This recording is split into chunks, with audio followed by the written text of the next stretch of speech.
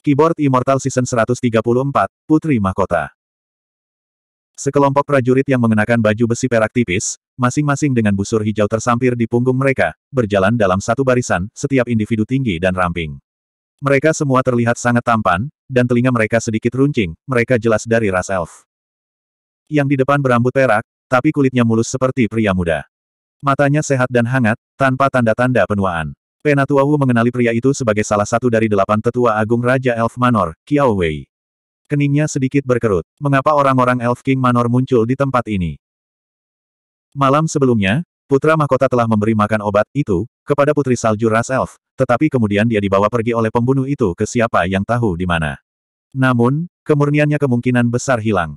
Mungkinkah Ras Elf menerima berita ini dan datang untuk menghukum kita? Tapi itu tidak seharusnya. Bahkan jika itu masalahnya, mereka harus pergi ke Putra Mahkota, kan? Kiao Wei melihat bahwa Penatua Wu dan pengawal gagak emas tercengang. Dia tidak bisa tidak berkata, jadi itu Penatua Wu. Kenapa kalian semua ada di sini? Itulah tepatnya yang ingin saya tanyakan kepada Anda, jawab Penatuaku. Ketika dia mendengar bahwa nada suara Kiao Wei masih cukup tepat, dia menghela nafas lega. Meskipun kultivasinya lebih tinggi dari orang lain, konsekuensi dari mendorong Elf King Manor terlalu jauh akan menjadi sakit kepala yang sangat besar untuk diselesaikan. Kiao Wei menjawab, Oh, Raja Elf Manor mengetahui bahwa Ratu Medusa tiba di pengadilan Raja Iblis, jadi mereka mengirim saya untuk memberikan salam kami. Ekspresi Penatua Wu berubah. Dia tidak menyangka hubungan Medusa Queen dengan Elf King Manor menjadi begitu baik. Itu membuat segalanya agak sulit. Yu Yanluo agak bingung. Dia tidak ingat pernah berurusan dengan Elf King Manor, jadi mengapa mereka datang untuk mengungkapkan niat baik mereka sekarang. Di dalam ruang samping, Yan Suhen dan Yun Jianyu membahas masalah itu juga. Pada akhirnya, Yan Suhen berkata, aku bisa merasakan aura familiar dari tubuh tetua elf ini. Ini sedikit mirip dengan Kiao Heng yang kita temui di makam Lord Sui. Bahkan jika mereka bukan ayah dan anak, mereka harus menjadi saudara. Petik 2. Jadi begitu, jawab Yun Jianyu. Dia tahu bahwa teknik Yan Suhen itu istimewa dan sama sekali tidak meragukan persepsinya tentang aura. Aku tidak menyangka Ah Su menyelamatkan orang itu saat itu akan menghasilkan pembayaran seperti ini. Kiao Wei bertanya dengan bingung, mungkinkah Penatua Wu datang atas permintaan Kaisar Iblis, untuk juga mengunjungi Ratu Medusa. Penatua Wu kehilangan kata-kata. Dia tidak bisa hanya mengatakan bahwa dia ada di sana untuk membawanya kembali ke pengadilan, kan? Tiba-tiba, di sini ada lebih banyak aktivitas di pintu masuk. Sebuah suara bernada tinggi berkata, Ya ampun, aku tidak menyangka tempat ini akan begitu semarak. Mereka yang hadir berbalik dan melihat orang kecil dan pendek berjalan mendekat. Dia mengenakan topi resmi yang lucu di kepalanya, dan di sekitar mulutnya ada kumis melengkung. Dia agak bungkuk dan bungkuk. Baru kemudian yang lain menyadari bahwa dia tampaknya memiliki panci besar di punggungnya. Di belakangnya ada sekelompok penjaga. Penjaga itu jelas lebih kuat dan lebih tinggi darinya, dan armor mereka memancarkan cahaya biru muda. Banyak dari mereka juga memiliki apa yang tampak seperti pelat baja yang detail dan halus di sekitar mata, leher, dan pergelangan tangan mereka. Setelah diperiksa lebih dekat, itu sama sekali bukan baju besi, jelas, mereka tampak seperti sisik ikan. Samudra berlomba. Yang lain segera menyadari apa yang sedang terjadi. Identitas orang yang memimpin juga jelas. Itu adalah perwakilan dari ras samudra kali ini, Gui Chengxiang. Ekspresi Penatuawu sedikit berubah, karena dia memperhatikan bahwa ada banyak kotak bersulam di tangan para penjaga. Mereka jelas hadiah. Sejak kapan ras ular dan ras laut akur? Gui Chengxiang selalu menjadi orang yang agak licin dan licik. Ketika dia tiba, dia menyapa semua orang satu demi satu, tidak memberikan sikap dingin kepada siapa pun. Penatuawu terbatuk ringan dan bertanya, Gui Chengxiang, apa yang membawamu ke sini kali ini? Gui Chengxiang telah memberi hormat kepada Kaisar Fin dan Putra Mahkota ketika dia tiba sebelumnya, jadi mereka berdua telah bertemu sebelumnya juga. Aku datang atas perintah tuanku untuk membawakan Ratu Medusa beberapa barang kebutuhan hidup sehari-hari untuk mencegah hidupnya di pengadilan Raja Iblis menjadi tidak nyaman, kata Gui Chengxiang sambil tersenyum lebar. Semua klan saling memandang dengan cemas. Ras Samudra memiliki status luar biasa di antara ras iblis karena mereka memiliki populasi yang besar, dan kekuatan mereka hebat. Bahkan Kaisar Iblis harus memperlakukan Raja Naga dengan sopan. Mereka tidak menyangka bahkan ras samudra berpikir begitu tinggi tentang ras ular. Sepertinya kita benar memilih untuk mendekati ras ular kali ini. Di dalam ruang samping, kedua Grandmaster saling bertukar pandang. Bagaimana hubungan Yuan Luo dengan orang lain sehebat ini? Bahkan ras samudra tampaknya berutang padanya. Kedua wanita itu sama-sama khawatir. Salah satu dari mereka mengkhawatirkan muridnya, sementara yang lain juga mengkhawatirkan muridnya. Yu Yanluo benar-benar bingung. Ras ular dan ras laut mungkin memiliki semacam persahabatan sebelumnya, tetapi hubungan itu jelas telah berakhir selama beberapa dekade terakhir. Mengapa mereka tiba-tiba menjadi begitu ramah lagi? Dia tiba-tiba memikirkan sesuatu. Kali sebelumnya di Blue Field Country, putra kesembilan Raja Naga, Chi Wen, tampaknya telah dipukuli oleh Ah Su, tetapi kemudian dengan dukungan bibi kecilnya, dia telah menggunakan banyak harta untuk membeli hidupnya. Pada saat itu, dia kagum bahwa bibi kecilnya begitu dekat dengan Zuan. Sekarang, Tampaknya kunjungan Gui Cheng Siang kemungkinan juga karena dia. Sai, gadis-gadis ini semua sangat hebat. Pada tingkat ini, bahkan tidak akan ada perkelahian di antara mereka. Zuan agak linglung saat dia melihat semuanya melalui lencana gioknya.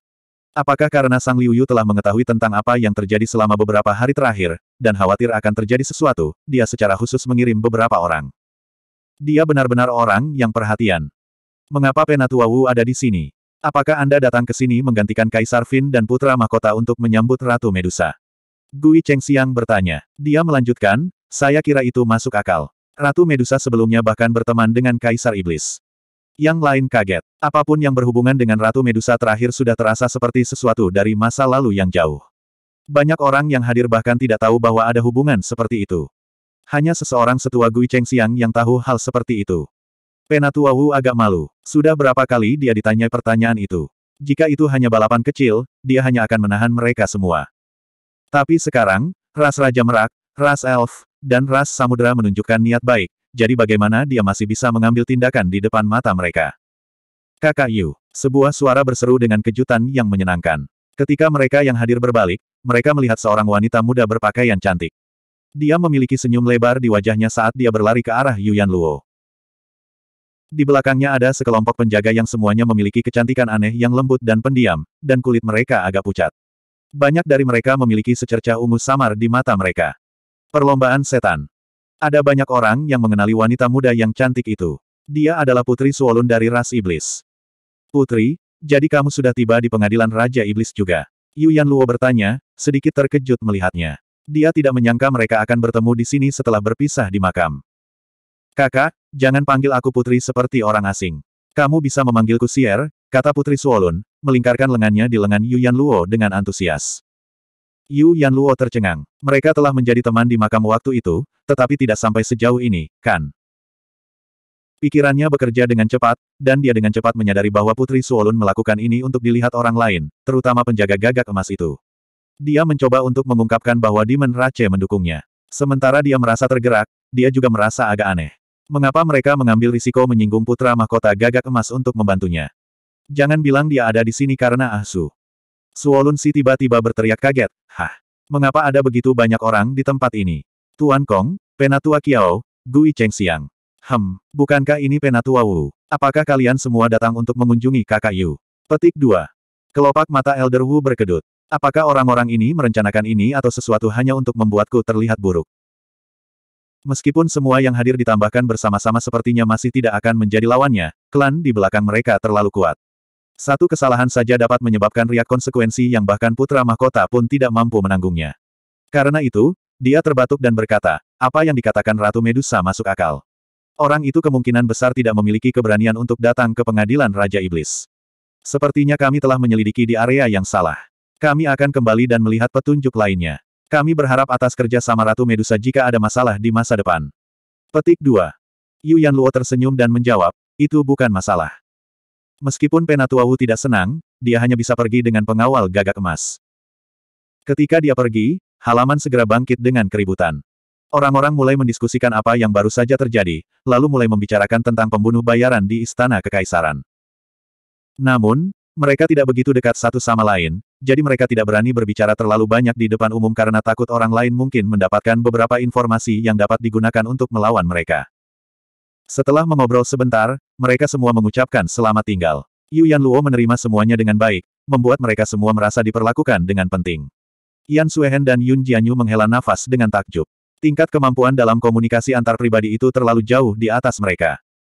Hanya ketika para tamu hampir semuanya pergi, Zuan diam-diam kembali ke halaman.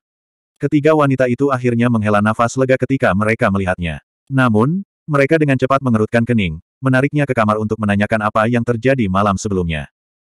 Zuan hanya bisa mengatakan yang sebenarnya kepada mereka. Ketika mereka mengetahui bahwa dia telah pergi untuk menyelamatkan putri salju ras elf, ekspresi ketiga wanita cantik itu menjadi aneh. Hanya setelah waktu yang lama berlalu mereka menghela nafas lega. Mereka bertanya sekaligus, mengapa kamu memiliki gadis ke mana pun kita pergi? Bab 1332 Apa yang bisa kukatakan? Mereka tidak cocok dengan pesonaku, jawab Zuan dengan acuh tak acuh. Ketika dia merasakan kemarahan ketiga wanita itu, dia segera mengubah nada suaranya. Dia menyelamatkan hidupku sebelumnya, jadi tentu saja aku harus menyelamatkannya. Dia menyelamatkan hidupmu, tanya Yun Jianyu, bingung. Dia benar-benar tidak bisa membayangkan bagaimana hubungan putri ras elf dengan Zuan. Sebenarnya, kakak Yan harus tahu tentang putri salju, kata Zuan. Aku mengenalnya, Yan Suehen bertanya, tertegun. Dia benar-benar bingung. Dia dulunya adalah seorang pelayan di klan Chu Kota Bright Moon. Dia adalah mata-mata yang dikirim oleh klan Si di ibu kota, Zuan memberikan gambaran kasar tentang apa yang terjadi saat itu. Jadi itu dia, kata Yan Suehen sambil mengangguk. Dia telah mendengar muridnya menyebutkan itu sebelumnya. Yun Jianyu berseru kagum ketika dia mendengar cerita itu. Gadis kecil ini benar-benar cerdas dan berani. Dia pergi ke sisi manusia dan menderita sendirian dalam keheningan, kemudian menyelamatkan klannya pada akhirnya. Jika saya bertemu dengannya lebih awal, saya mungkin akan menganggapnya sebagai murid saya sendiri. Petik 2. Apakah kalian berdua bersembunyi di istana sepanjang malam? Bagaimana Anda menghindari ketahuan meskipun Kaisar Fin mengawasi istana? Yu Yanluo bertanya. Itu yang lebih dia khawatirkan. Sejujurnya itu semua berkat permaisuri kedua. Deduksi saya tentang dia tidak salah. Lagi pula dia tidak setuju dengan putra mahkota, Zuan memberitahu mereka sedikit tentang bagaimana permaisuri kedua menyelamatkan mereka. Kunjungi freewebnovel.com untuk pengalaman membaca novel terbaik. Kalian berdua bermalam di kamar permaisuri kedua. Ekspresi ketiga wanita itu aneh. Pria ini benar-benar selalu dikelilingi oleh hubungan cinta dari awal hingga akhir. Ahem, itu hanya karena dia melawan putra mahkota, kata Zuan, mencoba menjelaskan situasinya. Ketika ketiga wanita itu memikirkan identitas permaisuri kedua, mereka tidak terlalu memikirkannya. Mereka dengan cepat mulai mendiskusikan apa yang baru saja terjadi. Yu Yanluo berkata, berkat bantuan teman-temanmu, kami berhasil melewati situasi itu. Kalau tidak, saya akan ditangkap untuk diinterogasi. Sudah saya katakan bahwa kedekatan saya dengan orang-orang baik, tetapi Anda tidak percaya, kata Zuan sambil tertawa. Dia melanjutkan, sekarang klan yang berbeda telah berkumpul di pengadilan Raja Fin, dan setelah sesuatu terjadi pada Raja Peng Emas, Raja Peri, dan Raja Bijaksana Merak, semua klan khawatir tentang situasi mereka sendiri. Suasananya cukup tegang, jadi putra mahkota tidak akan berani bertindak tanpa berpikir. Petik 2. Pengadilan Raja Iblis ini tampak damai dari luar, tapi sebenarnya tidak demikian, kata Yu Yanluo dengan ekspresi muram. Dia menambahkan, ngomong-ngomong, sebelum kamu kembali, klan berbicara tentang majelis umum semua ras. Majelis umum semua ras. Zuan terkejut. Yu Yanluo menjelaskan, ras iblis terdiri dari banyak ras, dan ini adalah pertama kalinya semua ras diundang, jadi harus ada pertemuan yang diadakan dengan semua orang yang hadir. Selain berurusan dengan urusan dangkal tertentu, bagian terpenting berkaitan dengan kursi perwakilan dari klan yang berbeda. Petik 2. Kursi perwakilan. Yan Suehen bertanya. Yun Jianyu lebih akrab dengan prosesnya dan berkata, meskipun Kaisar Iblis memiliki otoritas yang tak tertandingi dalam ras iblis, dia tidak akan repot dengan segalanya terlepas dari kepentingannya. Urusan dan kebijakan politik, ekonomi, dan lainnya seperti itu sering kali diputuskan melalui proposal perwakilan dan pemungutan suara. Ras yang kuat memiliki lebih banyak kursi, sedangkan ras yang lebih lemah sering kali hanya memiliki satu kursi. Itulah mengapa mengikat perwakilan dari klan yang berbeda sangat penting. Baru saja, ketika Yu Yanluo mengundang ras menengah dan kecil untuk berdiskusi, itu adalah bagian dari proses semacam itu. Yu Yanluo mengangguk dan berkata, memang. Setiap pemimpin lomba mewakili satu kursi. Yang lain perlu berjuang untuk mendapatkan kursi sendiri. Paling-paling, satu balapan bisa mendapatkan tiga kursi lagi. Perlombaan ular memiliki tiga kursi pada puncaknya, tetapi setelah apa yang terjadi pada ibu saya, orang-orang kami terus memburuk. Sekarang, kami hanya memiliki satu kursi untuk nama kami. Itu sebabnya kami praktis tidak memiliki suara dalam hal-hal yang berkaitan dengan urusan internal ras iblis. Petik 2.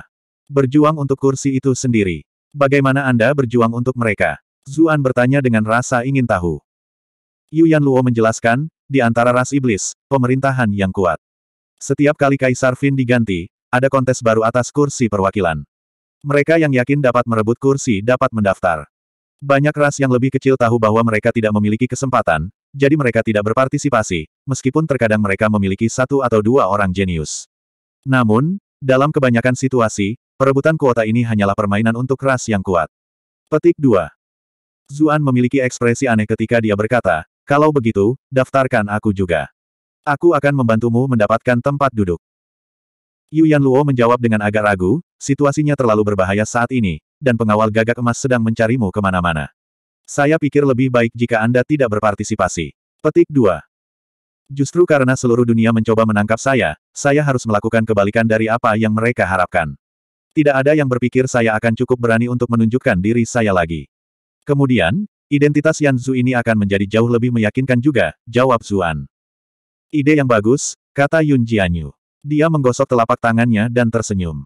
Kalau begitu daftarkan aku juga, aku akan membantumu merebut kursi. Benar, daftarkan wanita dingin batu ini juga. Petik 2. Yan Suehen sedikit tercengang. Dia bertanya, Apakah kamu tidak takut bahwa kamu akan menurunkan statusmu sendiri dengan mengikuti kompetisi semacam ini? Sekte suci kami hanya peduli tentang manfaat, kita tidak memiliki begitu banyak hal sepele yang tidak perlu. Yun Jianyu mendengus.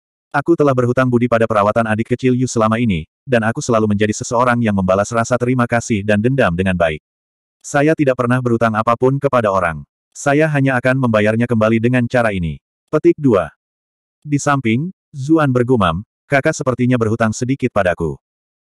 Pergi, gumam Yun Jianyu, mendorongnya menjauh.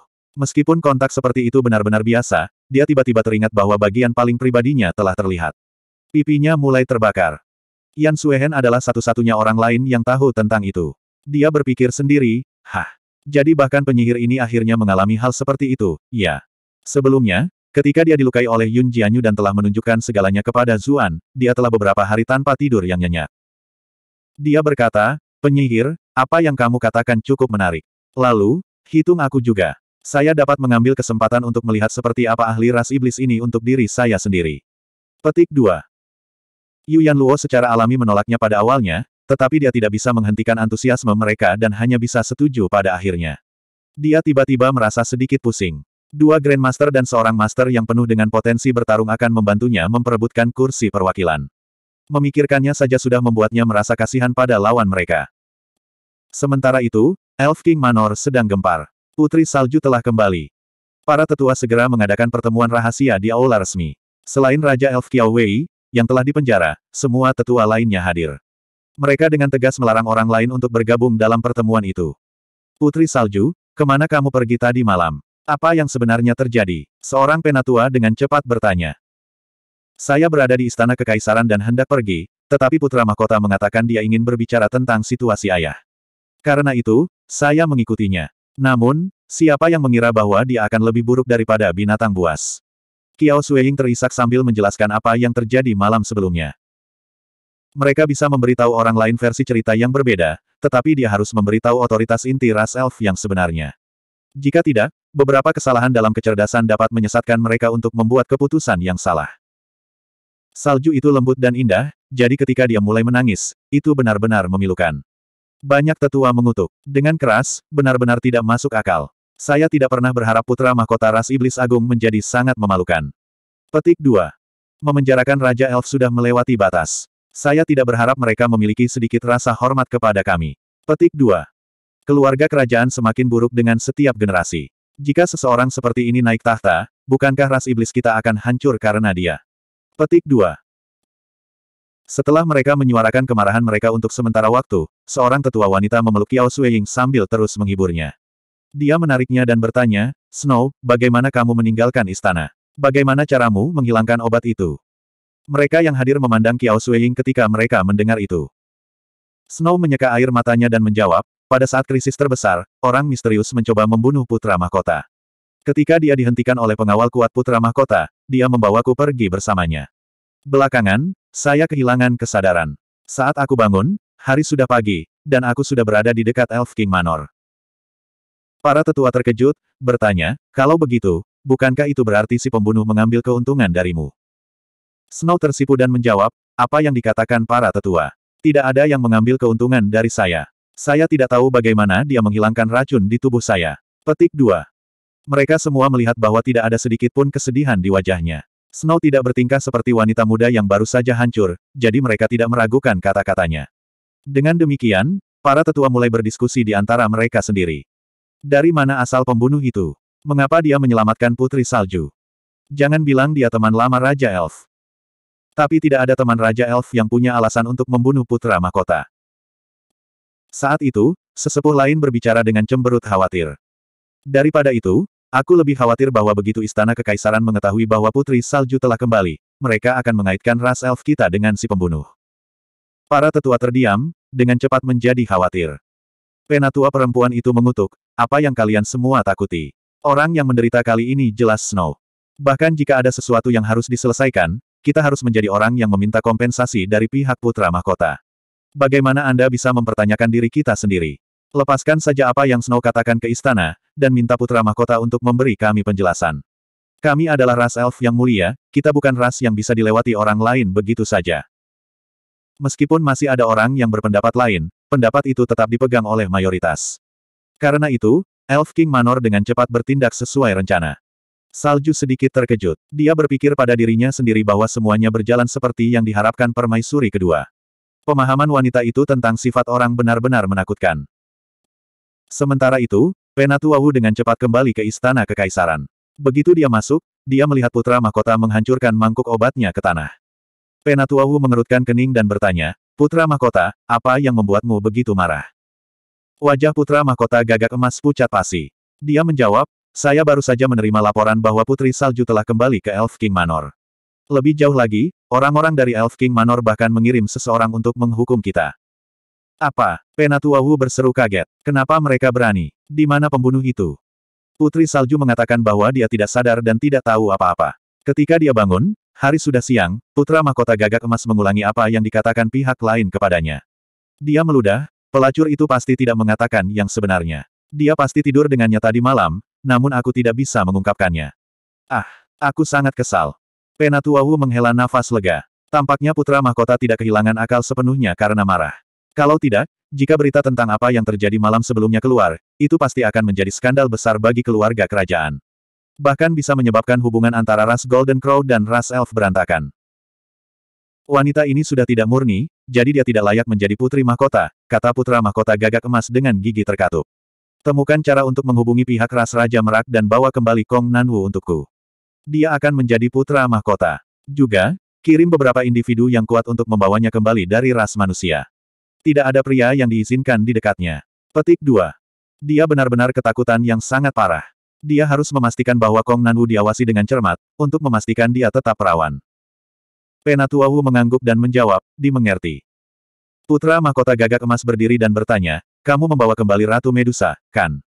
Aku sangat marah sekarang, jadi aku akan melampiaskan amarahku padanya dengan benar. Bab 1333, Makam Kekaisaran Putra mahkota gagak emas telah menyaksikan tubuh bagian bawahnya sendiri dihancurkan menjadi pasta berdarah. Bekas luka psikologis sudah terbentuk. Berkali-kali, dia tersentak bangun begitu dia menutup matanya. Dia bahkan mulai bertanya-tanya apakah dia telah kehilangan kemampuan, itu, jadi dia harus segera membuktikan dirinya. Pelayan istana yang normal tidak bisa membuatnya bersemangat, tetapi Ratu Medusa yang sangat cantik adalah cerita yang berbeda. Dia pasti akan bisa mengembalikan kejantanannya yang kuat. Ketika dia melihat ekspresi gembira putra mahkota gagak emas, Penatua Wu merasa sedikit bermasalah. Dia berkata, Putra mahkota, saya tidak dapat membawa kembali Ratu Medusa. Apa? Seru putra mahkota gagak emas, ekspresinya berubah seram. Dia baru saja akan bertindak ketika dia mengingat status Grandmaster Elder Wu, jadi dia hanya bisa menelan kutukan itu kembali. Sebaliknya, dia bertanya, apa yang terjadi? Penatua Wu dengan demikian memberitahu dia tentang apa yang terjadi saat itu di kediaman ras ular. Putra mahkota gagak emas terkejut, bertanya, ras Raja Merak, ras Elf, dan bahkan ras Laut, serta ras Iblis semuanya berbicara untuknya. Itu benar, Kata Penatua Wu dengan senyum muram. Itu adalah sesuatu yang dia tidak bisa mengerti sama sekali. Pelacur itu sebenarnya memiliki hubungan dengan begitu banyak orang. Apakah itu murni karena kecantikannya? Putra mahkota gagak emas bertanya-tanya. Karena apa yang terjadi di wilayah ras ular, dia membenci Ratu Medusa. Klan hebat ini telah menyatakan bahwa mereka akan melindunginya, dan ada banyak klan kecil yang memiliki hubungan baik dengannya. Melakukan sesuatu padanya benar-benar menjadi sangat sulit, kata Penatua Wu dengan cemberut. Aku khawatir kita tidak akan bisa memaksa pembunuh bayaran itu di bawahnya. Itu mungkin tidak begitu, kata putra mahkota Golden Crow sambil mencibir. Majelis umum semua ras akan diadakan dalam tiga hari. Saat itu, setiap ras akan mengirimkan orang-orangnya untuk mengisi kursi perwakilan tersebut. Ras ular dulunya adalah klan yang hebat, dan dengan kembalinya dia, Ratu Medusa tidak akan puas hanya dengan satu kursi. Dia pasti akan mengirim pembudidaya yang kuat untuk berpartisipasi. Kita bisa menggunakan panggung untuk menemukan cara untuk melumpuhkan pembudidayanya yang kuat. Semakin sengsara, semakin baik. Putra mahkota ini menolak untuk percaya bahwa orang di bawahnya tidak akan bertindak. Petik 2. Itu adalah rencana yang layak, tetapi apakah itu tidak terlalu terbuka? Itu mungkin memengaruhi reputasi diri Anda yang terhormat, Penatua Wu mengingatkannya karena khawatir. Jika memaksa keluar pembunuh menyebabkan ketidakpuasan berbagai ras, kerugian tidak akan menggantikan keuntungan. Kunjungi freewebnovel.com untuk pengalaman membaca novel terbaik. Siapa bilang putra mahkota ini akan melakukannya sendiri? Menurut intelijen, ras singa memiliki dendam dengan ras ular juga, kan? Kita bisa mengatur sistem sedikit dan membuat mereka memperebutkan kursi yang sama. Itu seharusnya berhasil, kan? Kata putra mahkota Golden Crow sambil mencibir. Dia telah mendengar bahwa pangeran kecil ras singa Siling telah terluka parah akibat konflik dengan ras ular, dan masih belum bangun. Siling adalah bintang yang sedang naik daun yang diakui secara publik oleh ras singa, dan dia sangat disayangi oleh saudara-saudara dan orang tuanya. Sekarang sesuatu telah terjadi padanya, ras singa sangat marah. Diberi kesempatan, mengapa mereka menunjukkan belas kasihan kepada ras ular? Rencana yang luar biasa. Mata Penatua Wu berbinar. Dia khawatir putra mahkota akan marah setelah kekalahannya dalam ras ular, dan mungkin bahkan tergila-gila dengan, sehingga benar-benar kehilangan sifat bijak dan heroik yang dibutuhkan untuk menjadi kaisar masa depan. Sekarang, dia benar-benar merasa nyaman. Pemuda ini masih putra mahkota yang sama yang dia ingat jauh di lubuk hati. Setelah itu, putra mahkota Golden Crow mengumpulkan beberapa orang dan mengatur berbagai hal. Itu tentu saja bukan sesuatu yang harus dia permasalahkan dengan Penatua Wu.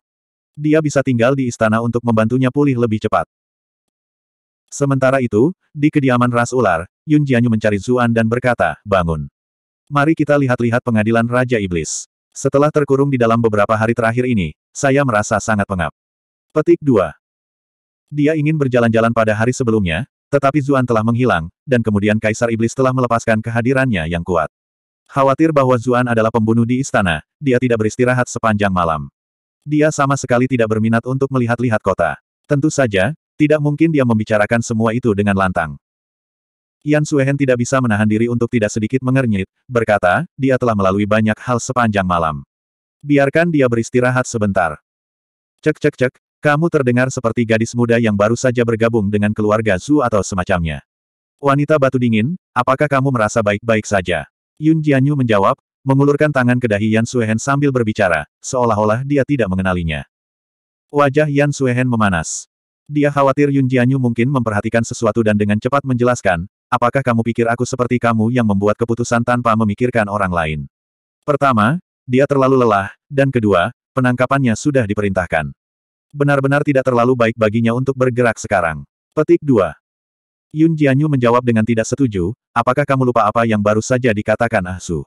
Semakin berbahaya tempat itu, semakin aman. Siapa yang mengira buronan penjahat hanya berjalan-jalan di jalanan seperti ini? Dia seharusnya mengambil kesempatan untuk menyebarkan nama Yan Zhu, atau orang lain akan mulai mengasosiasikan orang itu dengan Ah Su setelah beberapa hari. Yan Suehen sedikit mengernyit. Dia merasa Yun Jianyu memutarbalikkan logika. Dia hendak membalas ketika Zuan berkata, tidak ada salahnya membiasakan diri dengan pengadilan Raja Iblis. Kenali diri Anda dan kenali musuh Anda, dan Anda akan menang dalam setiap pertempuran. Selanjutnya, kita dapat mengambil kesempatan untuk mencari tempat yang tercatat di peta. Para wanita tercengang. Baru saat itulah mereka menyadari bahwa dia sedang berbicara tentang peta wilayah tidak dikenal yang mereka dapatkan dari makam Lord Sui. Dengan itu, tidak ada dari mereka yang menyuarakan keberatan lagi. Ketika mereka pergi, Yan Suhen dan Yun Jianyu mengingat pengalaman mereka di gerbang kota. Topeng bisa menyembunyikan penampilan mereka, tetapi mereka akan dengan mudah membuat orang lain penasaran. Itu terutama benar dengan fisik dan kehadiran mereka yang luar biasa, mereka jelas cantik luar biasa. Mereka berada di pengadilan Raja Fin, di mana ada banyak pembudidaya yang kuat. Meskipun mereka tidak takut, mereka tidak ingin membuat segalanya menjadi rumit tanpa alasan dan memprovokasi masalah yang tidak perlu. Selanjutnya, mereka akan membantu Yu Yan Luo memperjuangkan tiga kursi dalam tiga hari. Mereka akan menunjukkan diri mereka di depan semua orang saat itu. Mereka tidak bisa hanya memakai topeng dan jubah selamanya, kan? Menggunakan penampilan asli mereka jelas bukan ide yang bagus. Di dunia manusia, Kedua wanita itu adalah Grandmaster terkenal. Beberapa orang dari ras iblis pasti akan mengenali mereka juga. Jika mereka dikenali, dalam keadaan mereka saat ini, mereka bisa berakhir mati tanpa mengetahui caranya. Karena itu, mereka masing-masing meminta masker wajah dari Zuan, mengubah diri mereka menjadi wanita berpenampilan biasa agar terbiasa dengan sensasi tersebut. Ketika mereka melihat ke cermin, mereka hanya bisa menggambarkan penampilan baru mereka sebagai sangat polos, tetapi mereka tidak keberatan sama sekali. Dengan temperamen mereka, mereka sudah lama berhenti peduli tentang penampilan mereka. Zuan menghela nafas dengan takjub, berpikir bahwa jika keduanya memasuki dunia sebelumnya seperti mereka sekarang, mereka pasti akan diejek sebagai wanita yang tampak memukau dari belakang tetapi memiliki wajah yang tidak menarik. Mereka adalah dewi dari belakang, tapi wajah mereka. Pria itu Chen Xuan benar-benar memiliki beberapa topeng wanita di tubuhnya. Siapa yang mengira bahwa dia benar-benar memiliki fetish cross-dressing? Adapun Yuan Luo, dia adalah orang yang terkenal. Selanjutnya, dengan identitasnya sebagai pemimpin klan ras ular, dia secara alami tidak membutuhkan topeng. Cukup cadar saja sudah cukup. Kemudian, Kelompok berjalan melalui kota.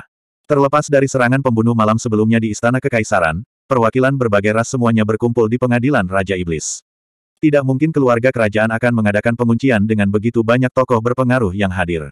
Itulah sebabnya, setelah seluruh kota digeledah, kota itu dibuka kembali. Meskipun pengadilan Raja Fin tidak seramai ibu kota manusia, itu masih di atas sana. Itu adalah tempat di mana semua jenis bakat ras yang berbeda berkumpul, masing-masing dengan spesialisasi mereka sendiri. Ketika semua spesialisasi itu disatukan, itu menjadi tempat yang cukup menarik. Sepanjang jalan, banyak murid iblis meniup cat Charles ketika mereka melihat sosok wanita. Ras iblis jauh lebih langsung daripada yang lain. Ketika mereka melihat apa yang mereka sukai, mereka selalu sangat proaktif. Namun, ketika mereka melihat wajah Yan Suehen dan Yun Jianyu, mereka segera merasakan makan mereka hancur, dengan cepat melarikan diri. Adapun Yuan Luo, karena dia adalah rekan Yan Suehen dan Yun Jianyu, mereka semua mengira bahwa dia mungkin tidak jauh lebih baik. Mereka bahkan tidak tertarik untuk membuka cadarnya. Zuan tidak bisa menahan tawa, berkomentar, saya tidak berharap bahkan kalian berdua dihindari karena jelek. Ini sebenarnya cukup menarik, kata Yan Suehen. Dia sudah terbiasa disanjung ke mana pun dia pergi. Dia menemukan pengalaman itu cukup baru dan baru. Saya tidak berharap menjadi jelek memiliki kegunaannya, kata Yun Jianyu. Meski begitu, dia masih kesal. Huff, jika ini adalah dunia manusia, aku pasti sudah mencungkil mata mereka, memotong anggota badan mereka, lalu menggunakannya sebagai pupuk. Yu Yan Luo mendecakkan lidahnya. Master Sekte Iblis benar-benar ganas, seperti yang diharapkan. Namun, kelompok mereka telah bergaul dengan baik akhir-akhir ini. Para wanita tidak disibukkan dengan itu untuk waktu yang lama. Perhatian mereka segera ditarik oleh lingkungan mereka yang aneh dan aneh. Yun Jianyu sangat bersemangat. Meskipun ada beberapa barang impor dari ras iblis di dunia manusia, sampai-sampai ada semua jenis toko khusus yang dibuka oleh ras iblis, dibandingkan dengan yang asli, mereka hampir tidak otentik. Berbeda dengan kegembiraan Yun Jianyu, minat Yan Suehen sangat kurang. Dia biasanya menyukai kedamaian dan ketenangan, jadi bukan saja dia tidak menganggap lingkungan yang ramai itu menarik, dia bahkan merasa bahwa tempat itu benar-benar bukan untuknya. Sebaliknya, dia tanpa sadar lebih melirik Zuan. Dia agak bingung. Mengapa dia merasa sangat bahagia dan riang ketika dia berjalan-jalan di Cloud Center City bersamanya, namun hari ini, dia merasa sangat kesal. Apakah karena ada orang lain di sana juga? Dia terkejut ketika dia menyadari itu. Aku harus bergegas dan mendorongnya untuk meningkatkan skill gadis Mosi itu, aku harus menyingkirkan skill, love is more solid than gold itu. Tapi mereka berdua sudah berbagi hubungan seperti itu, jadi apakah ada arti yang tersisa untuk menyingkirkan skill itu atau tidak? Apakah ada sesuatu di wajahku? Sebuah suara lucu memanggil. Yan Suehen melompat ketakutan. Baru saat itulah dia menyadari bahwa Zuan sedang menatapnya sambil tersenyum, berjalan tepat di sebelahnya. Yun Jianyu terganggu oleh semua pemandangan baru, dan Yu Yan Luo tidak ingin menunjukkan bahwa dia terlalu dekat dengannya untuk menyembunyikan identitasnya, jadi dia berjalan bersama dengan pembantu Sing. Itulah mengapa Zuan bisa berjalan ke sisinya. Siapa yang melihatmu? Yan Suehen menjawab, memalingkan muka dengan cepat. Zuan memiliki ekspresi aneh saat dia bertanya, Kakian, bukankah kamu tidak pernah berbohong sebelumnya? Biarawati tidak seharusnya berbohong, kau tahu. Yan Suehen mempraktikkan Taoisme, jadi sampai tingkat tertentu, tidak salah memanggilnya Biarawati. Yan Suehen terdiam. Orang ini benar-benar menyebalkan. Jadi Anda tahu saya adalah seorang biarawati, namun Anda masih melakukan hal semacam itu kepada saya. Yu Yan Luo sepertinya merasakan sesuatu. Dia berbalik dan bertanya, Ah Su, apa yang kalian berdua bicarakan? Yan Suehen terkejut, tetapi sementara dia tidak tahu harus berkata apa, Zuan menjawab sepenuhnya secara alami, kami sedang mempelajari peta. Yan Suehen merasakan sedikit kekaguman dalam hati. Orang ini bahkan tidak mengedipkan mata ketika dia berbohong. Saya harus memperingatkan Cuyan untuk tidak tertipu oleh orang ini nanti. Namun, ketika dia memikirkan muridnya, dia tiba-tiba mulai merasa tidak enak.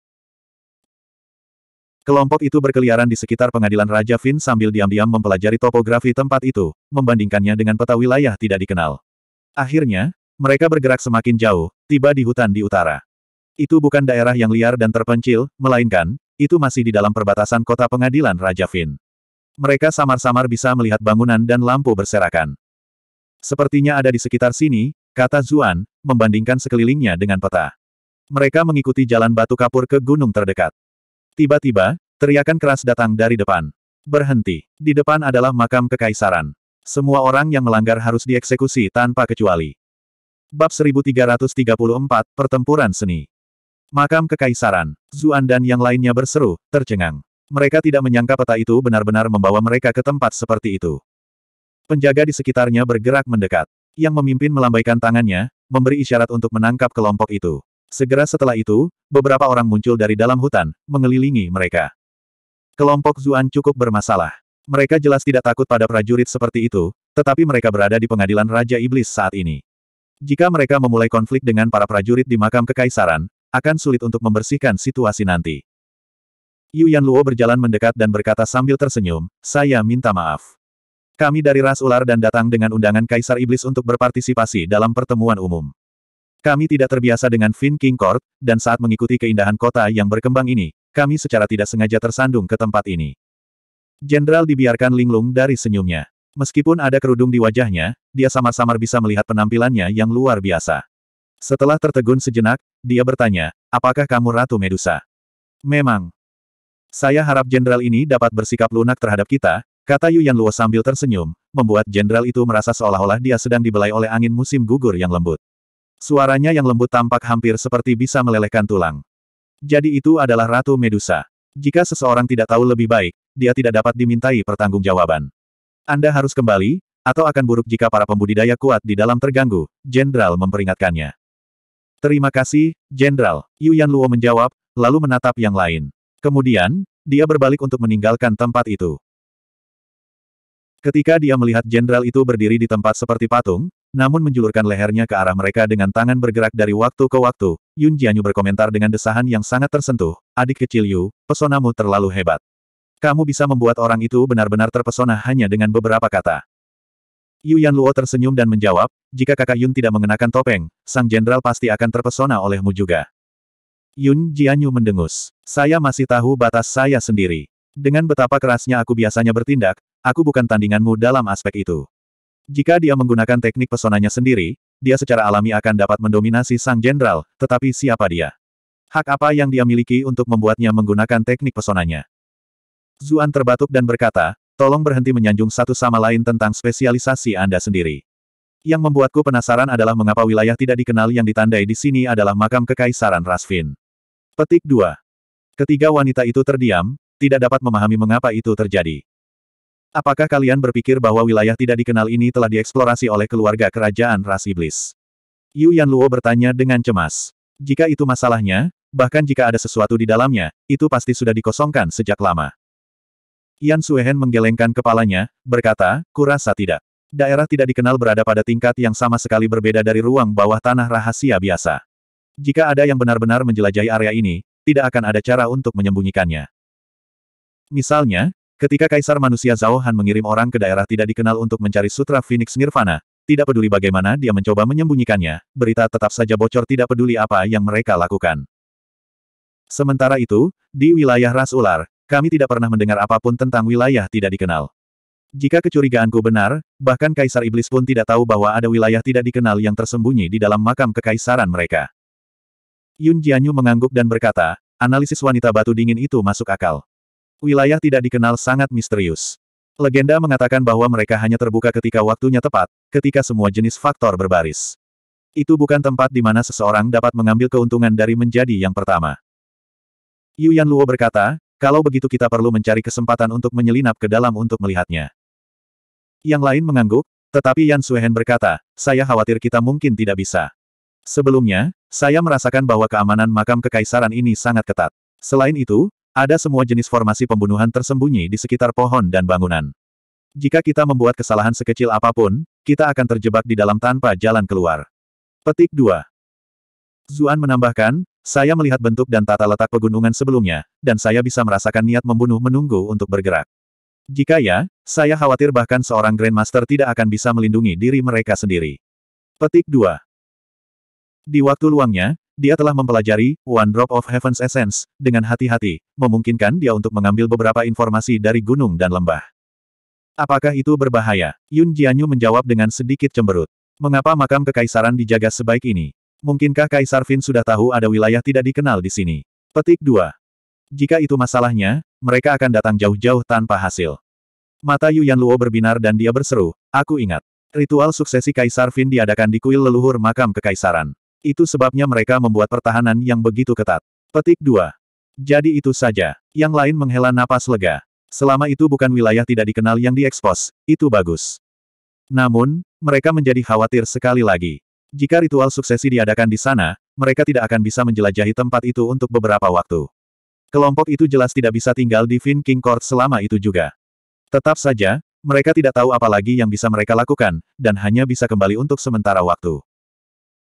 Sepanjang jalan, Zuan bertanya, bukankah ras iblis dipaksa ke utara yang sangat dingin ini karena perang besar dengan manusia bertahun-tahun yang lalu? Mengapa makam kekaisaran ada di sini? Petik 2.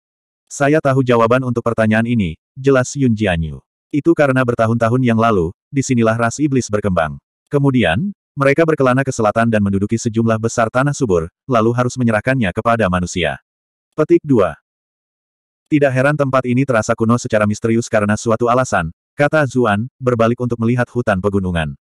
Untuk beberapa alasan, dia merasa itu menyembunyikan sesuatu, tetapi dia tidak bisa membayangkan apa itu. Kelompok itu sekali lagi kembali ke kota yang ramai, mengobrol tentang apa yang terjadi saat itu. Tiba-tiba, sebuah suara yang menusuk telinga tiba-tiba berseru, Oh!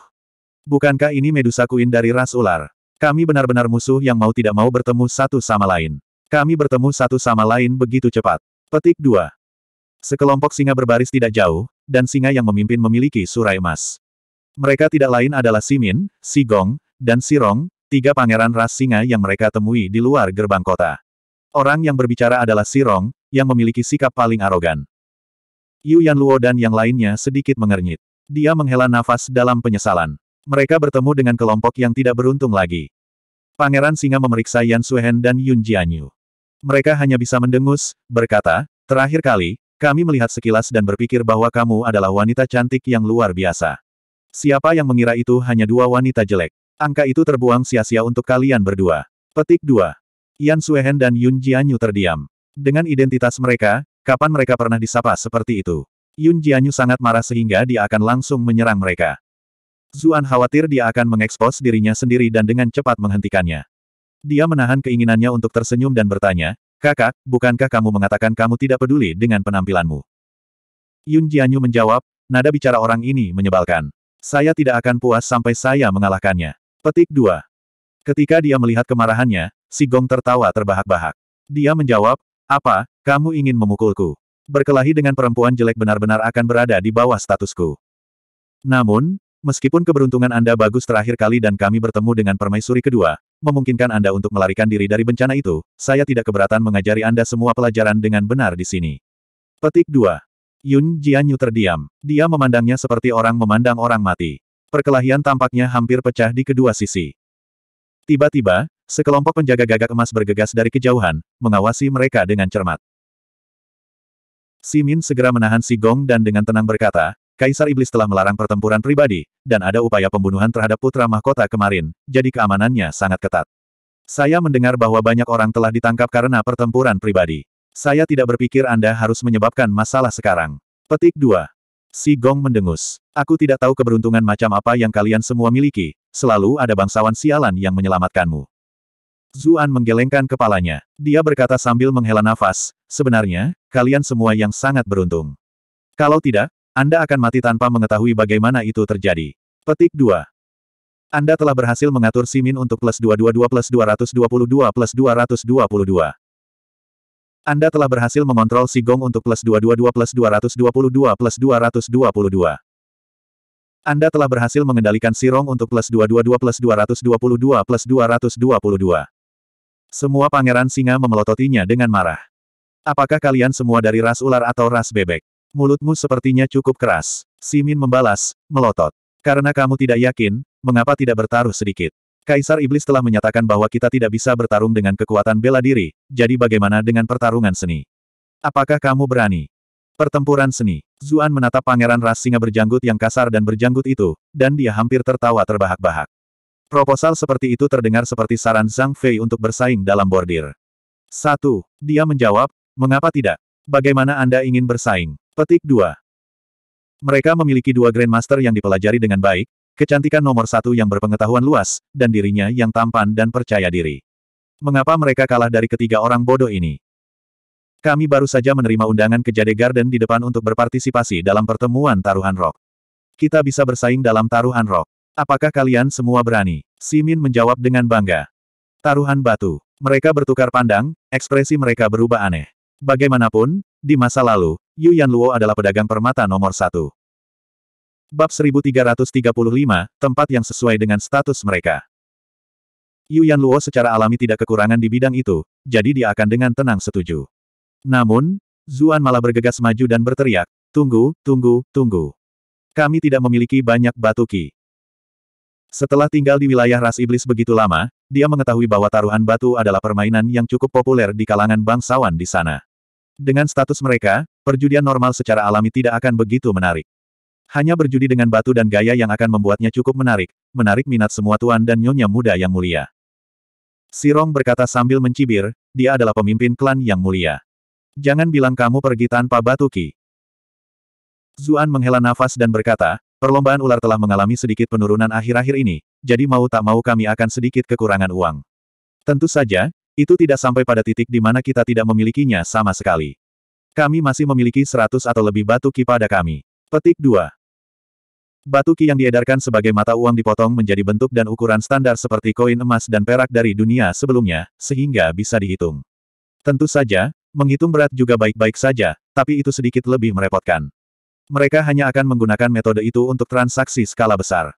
Seratus atau lebih. Tuan-tuan muda ras singa pada awalnya tercengang, tetapi kemudian mereka tertawa terbahak-bahak. Seratus ki batu sudah merupakan jumlah sumber daya yang konyol. Untuk seorang pemimpin klan, bagaimanapun, itu benar-benar terlalu memalukan. Ras singa kami peduli dengan ksatria-ksatria. Kami tidak ingin dikenal karena menindas wanita, kata Simin. Dia terdiam sesaat sebelum berkata, bagaimana dengan ini? Anda semua harus membawa seratus batu ki ke Taman Giok dan memilih beberapa batu. Selama Anda dapat menemukan sesuatu, pangeran muda ini akan memberi Anda kompensasi dengan jumlah yang sama di atas apa yang awalnya Anda dapatkan. Petik 2. Sirong dan Si Gong panik. Mereka berdua menangkapnya sebagai peringatan. Mereka benar-benar tidak mengerti mengapa saudara ketiga mereka yang biasanya tajam tiba-tiba melakukan hal seperti itu, yang tidak akan menghasilkan uang bagi mereka, tetapi malah akan membuat mereka kehilangan uang. Simin berkata melalui Ki, jangan khawatir. Bagaimana kita bisa membuat mereka benar-benar mulai membelanjakan uang jika kita tidak menarik mereka terlebih dahulu? Sirong masih tidak yakin, berkata, mereka hanya memiliki 100 batu Ki. Bahkan jika mereka mulai membelanjakan, berapa banyak yang bisa mereka hilangkan? Petik 2. Simin mencibir. Mereka hanya mengeluarkan seratus ki batu sekarang karena mereka masih ragu-ragu. Begitu mereka merasakan manisnya kesuksesan, mereka tidak akan bisa berhenti meskipun mereka mau. Pada saat itu, itu tidak akan terserah mereka lagi. Bahkan jika mereka tidak memiliki cukup batu ki, jangan lupa bahwa mereka masih memiliki ras ular di belakang mereka. Tambang ras ular dan racunnya adalah sumber daya yang menguntungkan. Kami akan mencoba mencari cara untuk memenangkan kedua bisnis itu. Mata Sirong dan Sigong berbinar ketika mereka mendengar penjelasannya. Kakak ketiga adalah saudara ketiga. Dia yang paling pintar, seperti biasa. Zuan juga berpura-pura tergerak. Dia mulai berbicara dengan Yu Yanluo, sepertinya mendesaknya untuk berpartisipasi. Yu Yanluo lalu, dengan enggan, setuju. Baiklah, kalau begitu mari kita pergi dan mencobanya. Yan Suehen diam-diam mengamati semuanya. Dia tahu Zuan telah melakukan semua itu dengan sengaja sebagai suatu tindakan. Orang ini benar-benar, musuh-musuhnya sedang kacau, namun mereka masih ingin berpartisipasi. Bahkan Yu Yanluo meniru perilaku buruknya. Dia tidak bisa membantu tetapi tercengang. Bukankah dia juga belajar darinya? Dia tidak pernah berbohong, tapi sekarang, dia menipu orang lain bahkan tanpa mengedipkan mata. Melihat bahwa mereka telah setuju, Si Min khawatir mereka akan kembali pada kata-kata mereka dan dengan cepat berkata, kalau begitu, kita harus pergi. Jade Garden ada di depan, kami akan segera ke sana. Cara mereka biasanya bertindak, mereka pasti sudah bergegas ke sana terlebih dahulu. Namun, sekarang, mereka malah tampak mengikuti kelompok Zuan dengan santai dan berjalan dengan langkah netral, seolah-olah mereka takut kelompok lain akan kedinginan. Yun Jianyu bertanya kepada yang lain melalui Qi, apakah kalian berdua benar-benar yakin bisa menang? Meskipun dia adalah seorang Grandmaster, situasi ekonomi yang sulit dari Sekte Iblis mencegahnya untuk bermain-main secara boros di tempat perjudian. Lebih jauh lagi, dalam taruhan batu, Kultivasi seseorang bahkan tidak berguna karena permata yang tidak dipoles seperti itu tampaknya mampu menyerap kehendak surgawi seorang kultivator. Orang tidak bisa melihat ke dalam sama sekali. Namun, justru itulah mengapa hal itu membawaan yang tak tertandingi kepada para penjudi. Zuan tersenyum, tetapi tidak mengatakan apa-apa. Yu Yanluo mengangguk tanpa memberikan terlalu banyak. Bagaimanapun, dia telah mengelola bisnis batu Kiklan Yu di masa lalu. Paling tidak, dia memiliki keyakinan mutlak dalam wawasannya di bidang ini. Ketika dia mendengar itu, Yun Jianyu mulai bersemangat, berkata, baiklah kalau begitu, pastikan untuk mengacaukannya dengan benar untukku. Sebaiknya sampai mereka kehilangan segalanya kecuali celana dalam mereka. Apa yang terjadi sebelumnya benar-benar membuatnya kesal, tetapi karena berbagai alasan, dia tidak bisa berbuat apa-apa. Itu berarti dia hanya bisa menyerahkannya pada Yu Luo. Wajah Yu Luo menjadi sedikit merah, tapi dia masih menjawab, aku akan melakukan yang terbaik. Dengan demikian, Kelompok itu tiba di depan Taman Giok. Mereka bisa merasakan kekuatan hidup yang berkembang bahkan dari pintu masuk utama, dan mereka samar-samar bisa melihat hamparan hijau di dalamnya. Mereka tidak hanya mencium aroma bunga, mereka bahkan bisa mendengar kicauan burung yang merdu. Bagian utara sangat dingin dan jarang memiliki tempat dengan vegetasi yang rimbun. Siapa yang tahu berapa banyak tenaga dan sumber daya yang digunakan untuk mempertahankan pemandangan seperti itu? Namun, pemandangan yang paling menarik perhatian adalah gedung tertinggi di taman. Itu adalah istana berhiaskan berlian yang berputar-putar dengan warna-warna cerah. Apakah semua ubin dan batu bata terbuat dari batu giok? Zuan menangis kaget. Apa yang istimewa dari itu? Lihat udik desa ini. Sirong berkata dengan mengejek. Dia segera merasakan rasa superioritas yang tak terlukiskan ketika dia melihat reaksinya. Simin khawatir adik laki-lakinya akan sangat menyinggung perasaan mereka sehingga mereka akan berbalik. Dia kemudian melangkah keluar untuk merapikan semuanya, mengatakan, Taman Giok ini adalah taman rekreasi yang diciptakan oleh kelompok pedagang rubah terkaya dan paling terkenal dari ras iblis. Biasanya, mereka hanya menerima tamu paling terhormat dari ras berbeda di Fin King Court. Setiap satu reservasi dipesan untuk setengah tahun kemudian. Bahkan jika orang biasa punya uang, mereka masih kekurangan kualifikasi untuk masuk. Petik 2.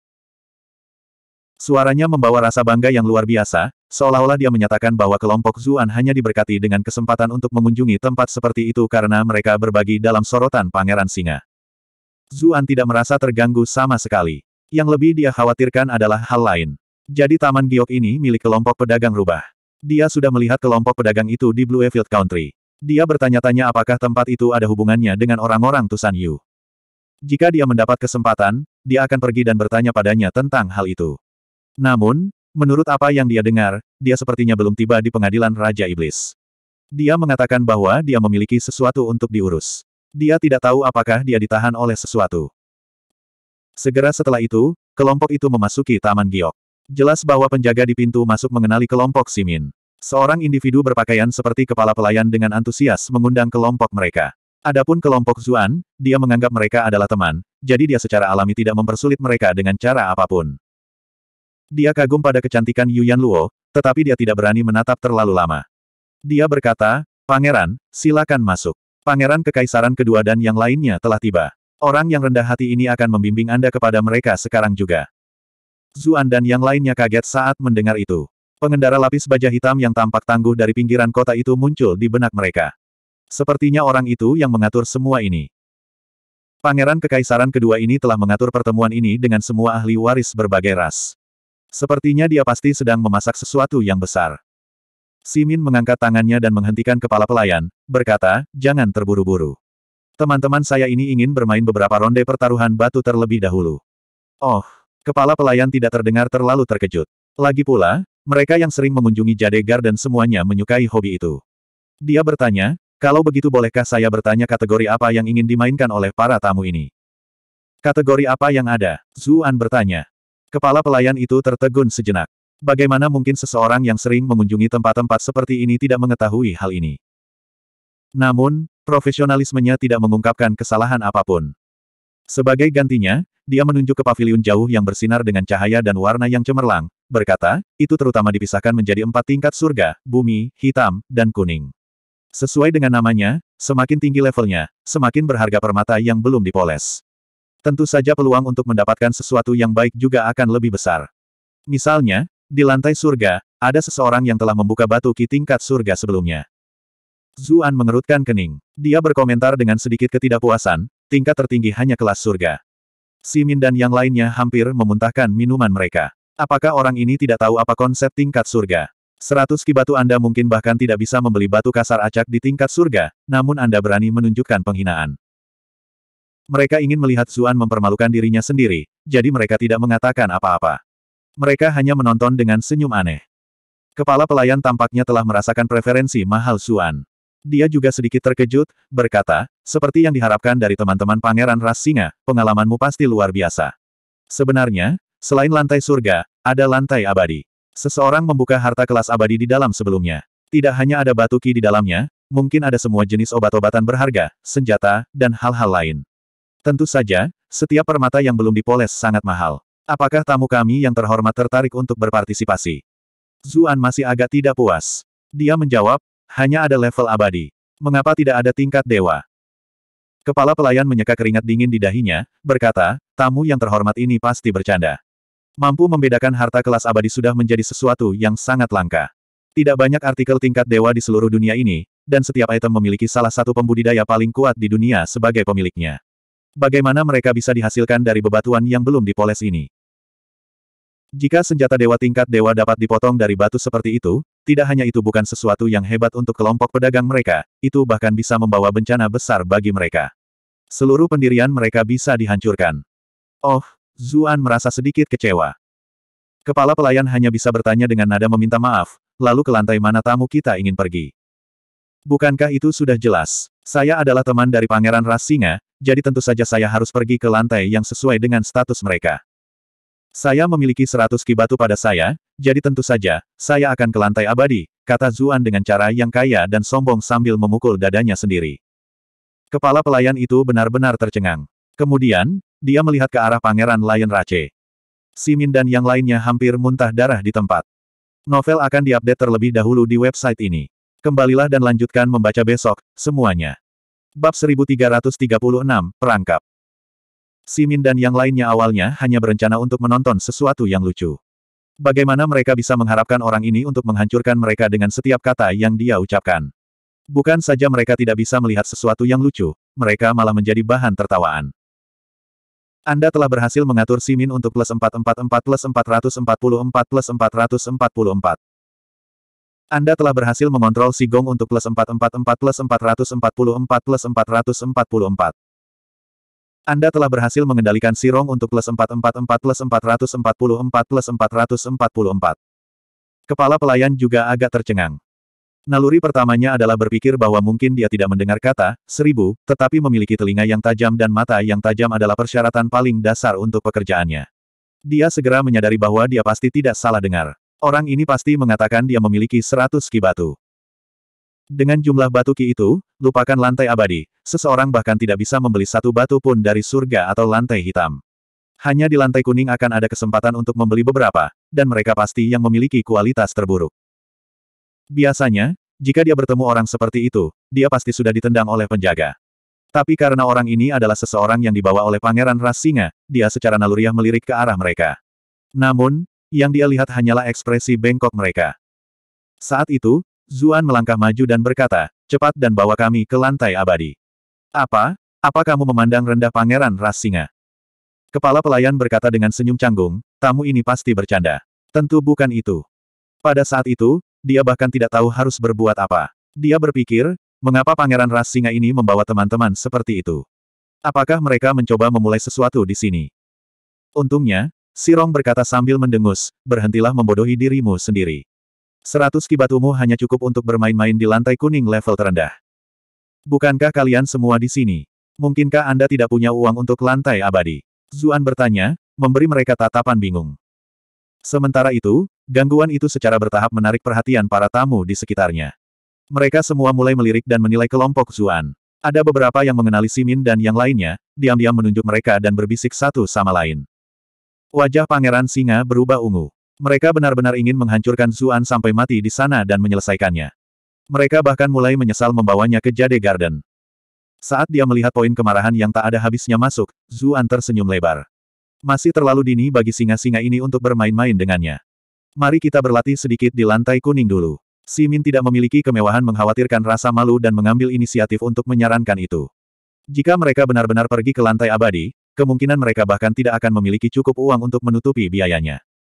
Ekspresi para penonton menjadi aneh. Ini adalah pangeran ras singa yang mulia, namun mereka pergi ke lantai kuning. Mungkinkah ras singa sudah jatuh ke keadaan seperti itu? Ketika dia mendengar obrolan di sekitarnya, wajah Simin berkedut. Dia berpikir dalam hati, ini semua salah ini. Aku tidak akan bisa melepaskan kebencian ini kecuali kita membuat ras ular kehilangan seluruh kekayaan mereka. Kepala pelayan telah melalui pelatihan yang ketat, jadi dia tidak mengungkapkan sesuatu yang aneh di permukaan. Dia berkata sambil tersenyum, lewat sini, tolong. Mereka dengan cepat tiba di lantai terendah bangunan yang terbuat dari batu giok. Itu disebut lantai kuning, tetapi dekorasinya elegan. Itu tidak terasa seperti tempat yang murah sama sekali. Mereka mengira lantai itu akan agak kosong. Bagaimanapun, mereka yang bisa memasuki taman giok semuanya kuat dan kaya. Orang mana yang bisa menanggung malu pergi ke sana? Namun, mereka menemukan bahwa itu masih cukup hidup. Ada beberapa kelompok yang terdiri dari tiga atau empat orang menatap batu-batu yang belum dipoles di atas meja. Semua dari mereka berwajah merah dan gugup, jelas berkonsentrasi penuh. Ketika Zuan melihat sekeliling tempat itu, dia kurang lebih mengerti mengapa ada beberapa orang yang hadir. Tokoh-tokoh penting sering membawa serta beberapa pembantunya, dan juga membawa serta juniornya. Orang-orang seperti itu akan merasa menunggu di luar agak membosankan, dan mereka tidak punya cukup uang untuk bermain-main di lantai yang lebih tinggi.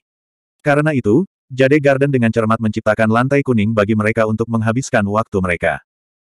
Kelompok Zuan dengan cepat menarik perhatian orang-orang di dalamnya. Tidak sedikit dari mereka yang juga mengenali kelompok Simin. Bagaimanapun, ras singa adalah klan besar yang kuat, dan para pangeran juga terkenal secara individual. Banyak orang menghentikan apa yang sedang mereka lakukan dan mendekat sambil tersenyum, berseru, jadi tuan muda juga ada di sini untuk bermain. Bagaimana mungkin orang-orang seperti mereka memiliki kesempatan untuk berbicara dengan orang-orang penting seperti itu? Mereka secara alami harus mengambil kesempatan untuk membangun beberapa koneksi. Kami datang dengan orang-orang ini, jawab Pangeran Singa. Mereka bertindak angkuh dan bangga, hanya bertindak agak lebih baik di depan dua individu. Salah satu dari mereka memiliki wajah panjang seperti rusa dengan mata seperti tikus, lengan, leher, dan bagian lain dari kulitnya memiliki berbagai macam bintik hitam dan coklat yang menyerupai penyakit kulit. Itu benar-benar tidak nyaman untuk dilihat. Pembantu Sing berkata kepada kelompok Zuan melalui Ki. Itu salah satu tuan muda ras hiena, Banka. Sebagai sekretaris yang kompeten, dia telah mengumpulkan informasi intelijen tentang semua kekuatan yang berbeda di pengadilan Raja Iblis, dan sejauh ini telah melakukan pekerjaan yang cukup baik. Yu Yan Luo dan yang lainnya semua memberinya tatapan pujian.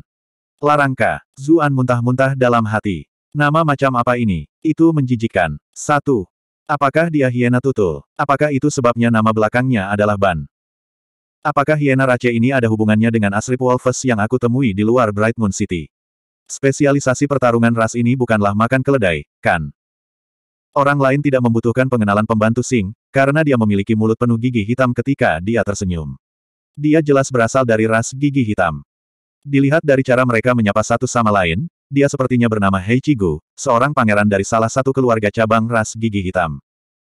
Ekspresi Zuan aneh. Dia memperhatikan bahwa gigi Hei Chigu tidak sehitam gigi Hei Chiran. Mungkin semakin murni garis keturunannya, semakin hitam gigi mereka. Yang lain yang hadir akhirnya menyadari bahwa Si Min dan yang lainnya hanya berada di lantai kuning karena kelompok Zuan.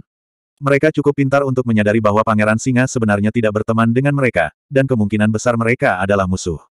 Karena itu, mereka semua mulai menyuarakan dukungan mereka. Banka dan Hei Gu angkat bicara. Ya ampun, ras ular dulunya adalah klan besar juga, tapi bagaimana mereka bisa jatuh begitu rendah?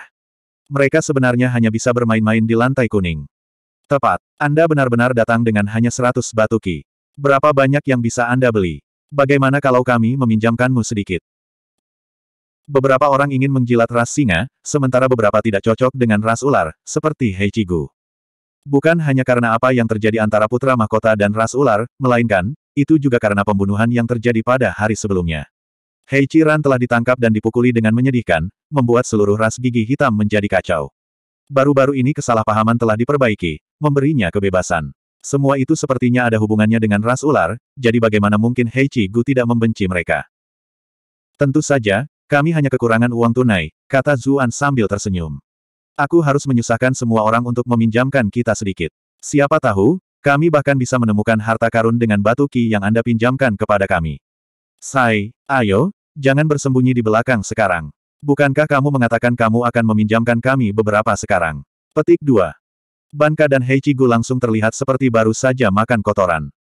Mereka baru saja mengatakan itu sebagai lelucon, siapa yang mengira bahwa orang ini benar-benar akan meminta uang kepada mereka. Lagi pula, Meminjamkan uang di tempat perjudian adalah hal yang tabu di mana saja. Dalam situasi itu, bahkan jika seseorang membantu seseorang menang, dia hanya akan mendapatkan kembali uangnya sendiri. Di sisi lain, jika mereka akhirnya menyia-nyiakannya, seseorang hanya akan kurang beruntung.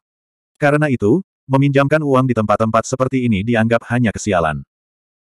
Tetap saja, ada begitu banyak orang yang hadir, dan mereka sudah mengucapkan kata-kata itu.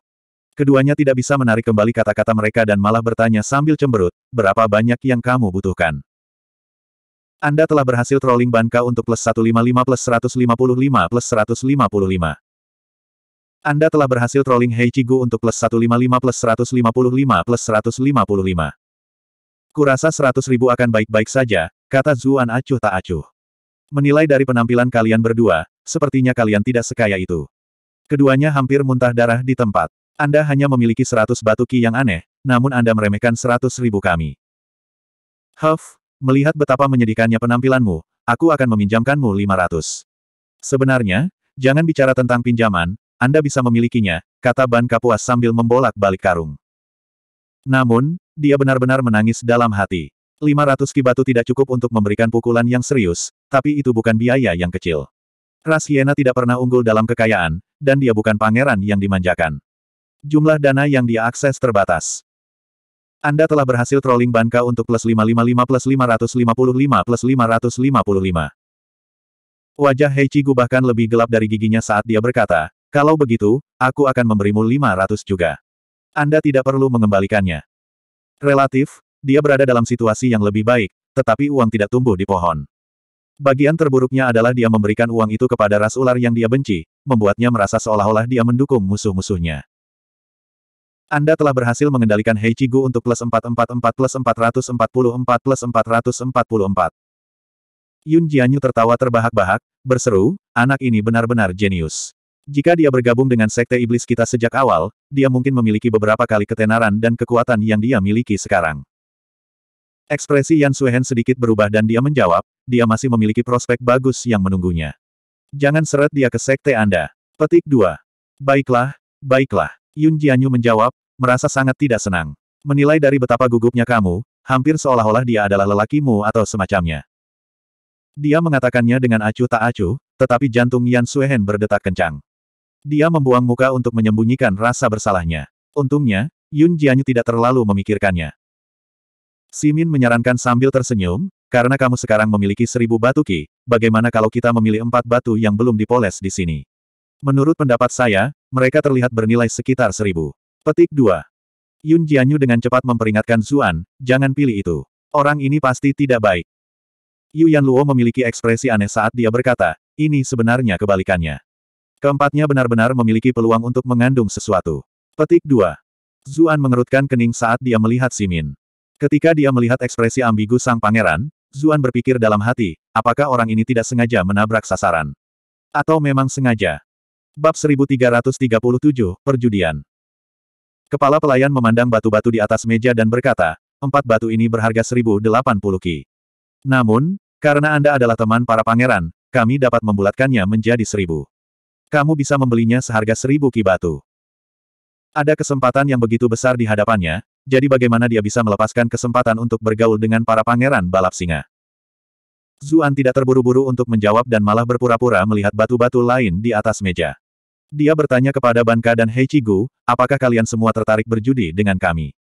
Jika kami melewatkan keempat batu yang belum dipoles ini, kami akan memberi kompensasi kepada kalian berdua untuk seribu batu ki. Jika memang ada sesuatu di bebatuan ini, maka Anda akan memberi kami kompensasi dengan perbandingan satu banding satu. Berapapun nilainya, itulah kompensasi yang akan Anda berikan kepada kami. Bagaimana menurutmu? Ban Ka mendengus. Serahkan saja seribu itu ketika kamu kalah. Bukankah kami memberikannya kepada Anda sejak awal? Petik 2. Apa? Kamu takut? Zuan balas mengejek. Risiko taruhannya agak terlalu di luar kendali. Banka hendak menolak ketika Hei Gu berkata, Baiklah, aku akan bertaruh denganmu. Tidak seperti orang luar kota seperti Banka, dia biasanya tinggal di Fin King Court.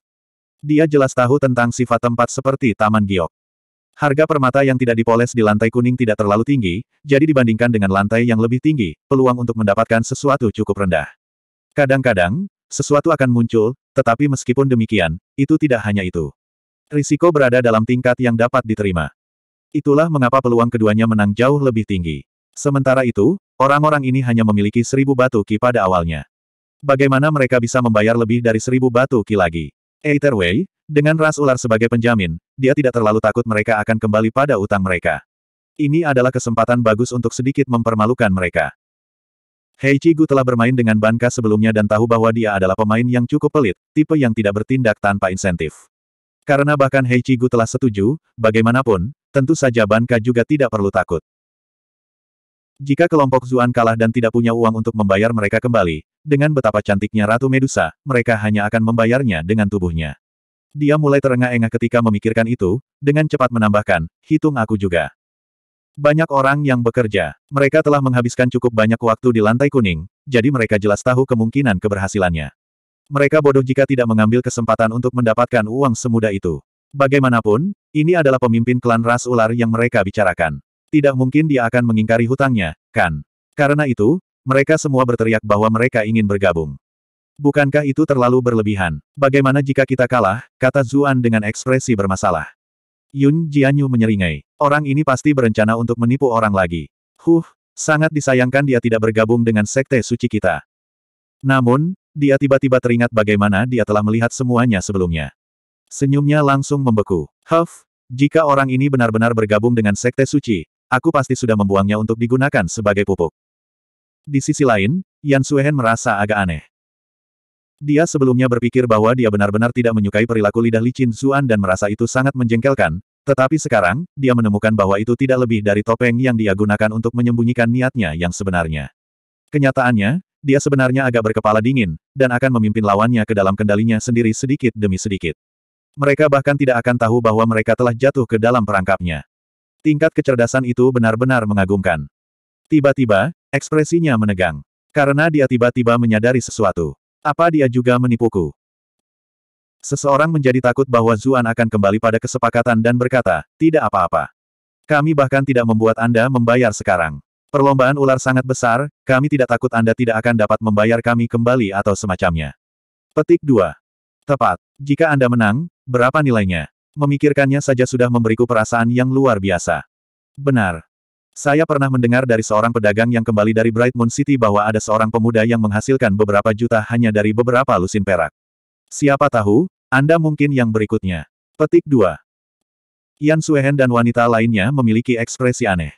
Mengapa cerita terakhir itu terdengar begitu akrab? Mata Zuan berbinar. Dia dengan cepat berlari ke sisi Yu Yan Luo dan mulai mencoba meyakinkannya. Yang lain bahkan bisa mendengar apa yang dia katakan untuk mencoba dan meyakinkan Yu Yan Luo. Semua penonton mencibir. Lihatlah betapa dibutakannya dia oleh keserakahan.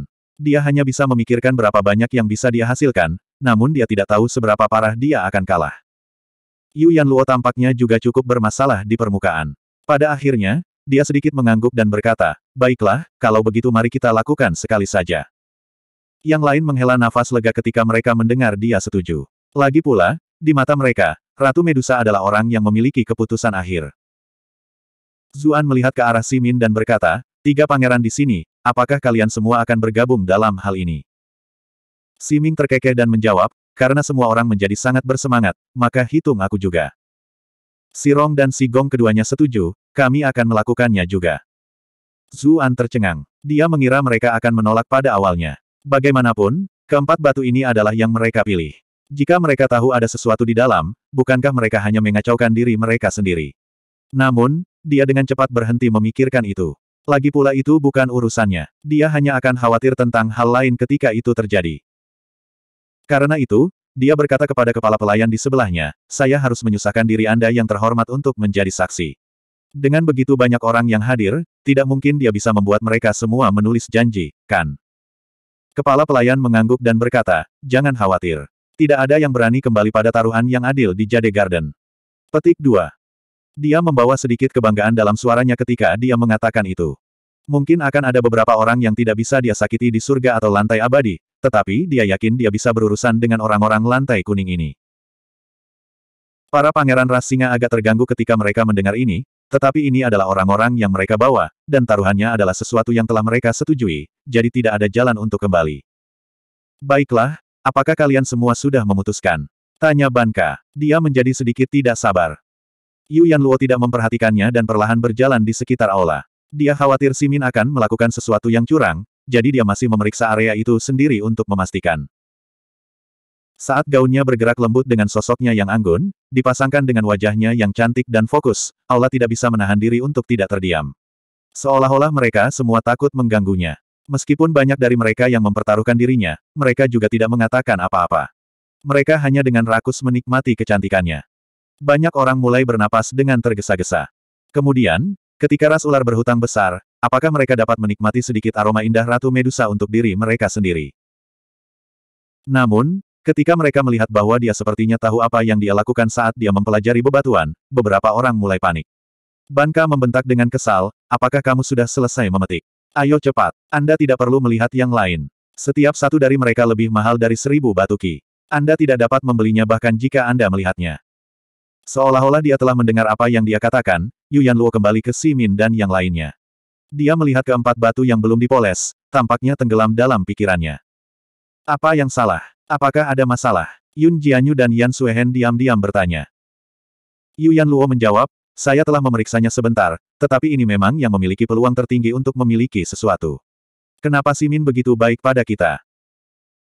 Meskipun dia telah mengelola bisnis batu permata klan Yu selama bertahun-tahun dan memiliki banyak pengalaman, itu hanya sedikit lebih baik daripada orang biasa. Bahkan master terhebat dengan wawasan paling tajam pun tidak dapat memiliki akurasi 100%. Jika tidak, itu tidak akan disebut taruhan batu, melainkan hanya membuang uang. Itulah mengapa dia khawatir bahwa mungkin ada sesuatu yang salah dengan batu-batu itu. Sebaliknya, Zuan jauh lebih santai. Dia berkata, jangan terlalu memikirkannya. Siapa tahu, dia mungkin baru saja menyarankan ini untuk menipu kita, tetapi tidak tahu bahwa sebenarnya ada sesuatu di dalamnya. Petik 2.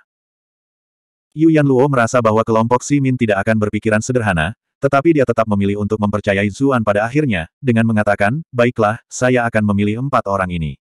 Setelah dia berbicara, dia menyerahkan dua tas dari sebelumnya kepada kepala pelayan.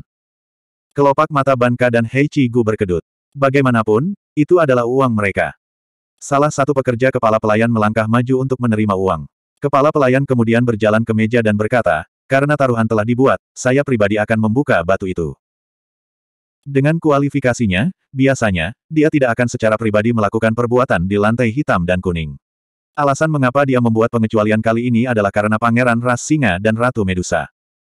Dia mengambil salah satu batu yang belum dipoles. Dia tidak menggunakan alat apa pun, dan malah menggunakan tangannya sebagai pisau, mengiris sisi batu. Begitu saja, batu kokoh itu diiris semudah tahu. Beberapa orang di sekitarnya menyipitkan mata. Taman giok ini berbeda. Bahkan seorang kepala pelayan sangat terampil. Kemudian, kepala pelayan itu menggerakkan tangannya dengan lembut di atas batu itu. Itu dicukur lapis demi lapis, menjadi lebih kecil dan lebih kecil. Pada akhirnya, hanya ada sisa-sisa berwarna abu. Kepala pelayan menggelengkan kepalanya dan berkata, tidak ada apa-apa di dalam. Sorak-sorai bergema dari segala penjuru. Mereka yang bertaruh semuanya menghela nafas lega. Apa yang mereka khawatirkan? Batu lantai kuning ini pasti tidak akan menghasilkan harta dengan mudah. Selanjutnya, keempat batu itu dianggap berkualitas buruk bahkan di lantai kuning.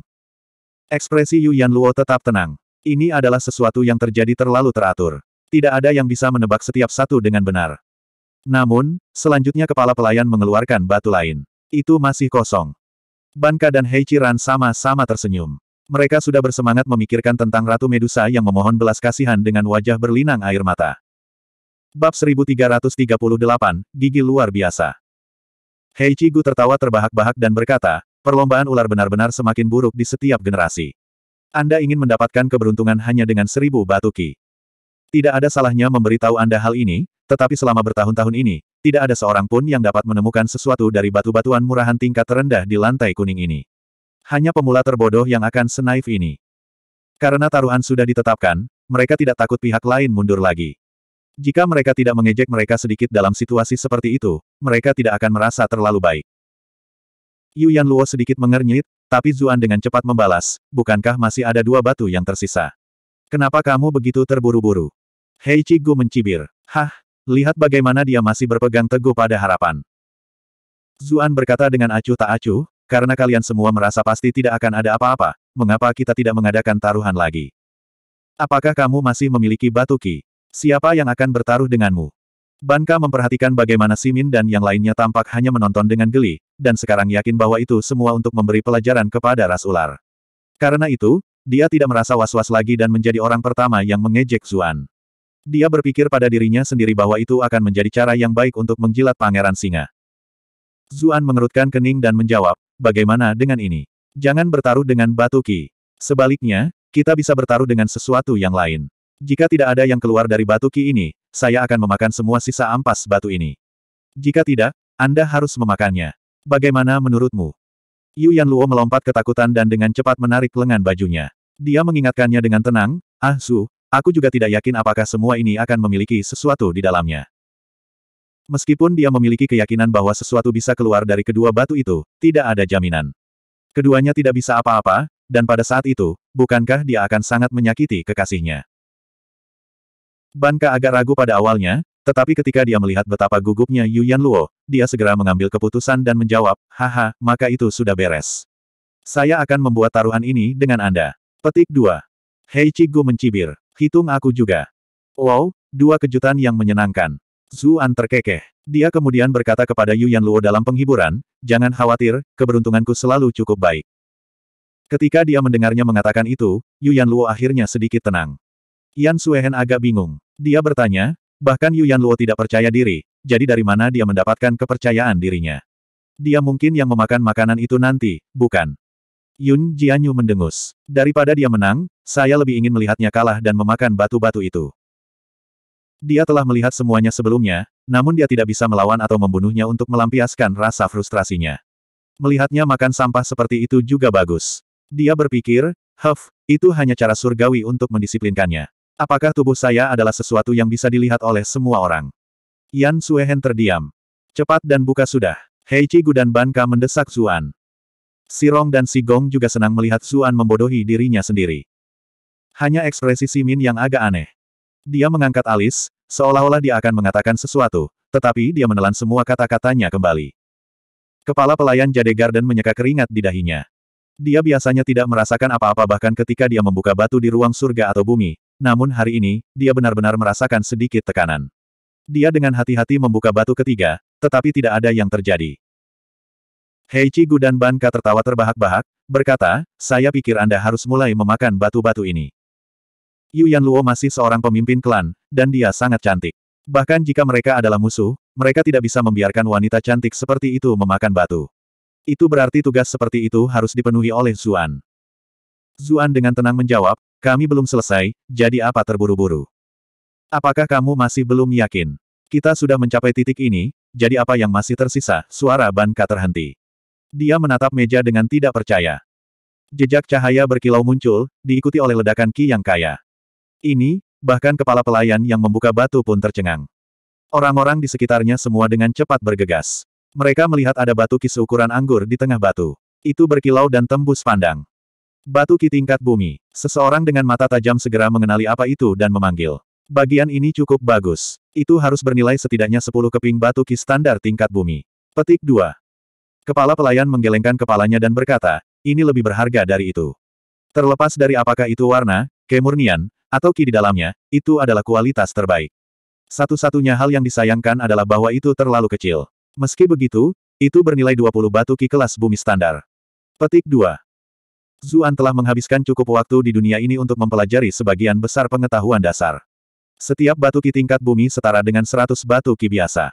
Batu ki adalah mata uang yang biasa digunakan para pembudidaya, sedangkan orang biasa biasanya menggunakan emas dan perak.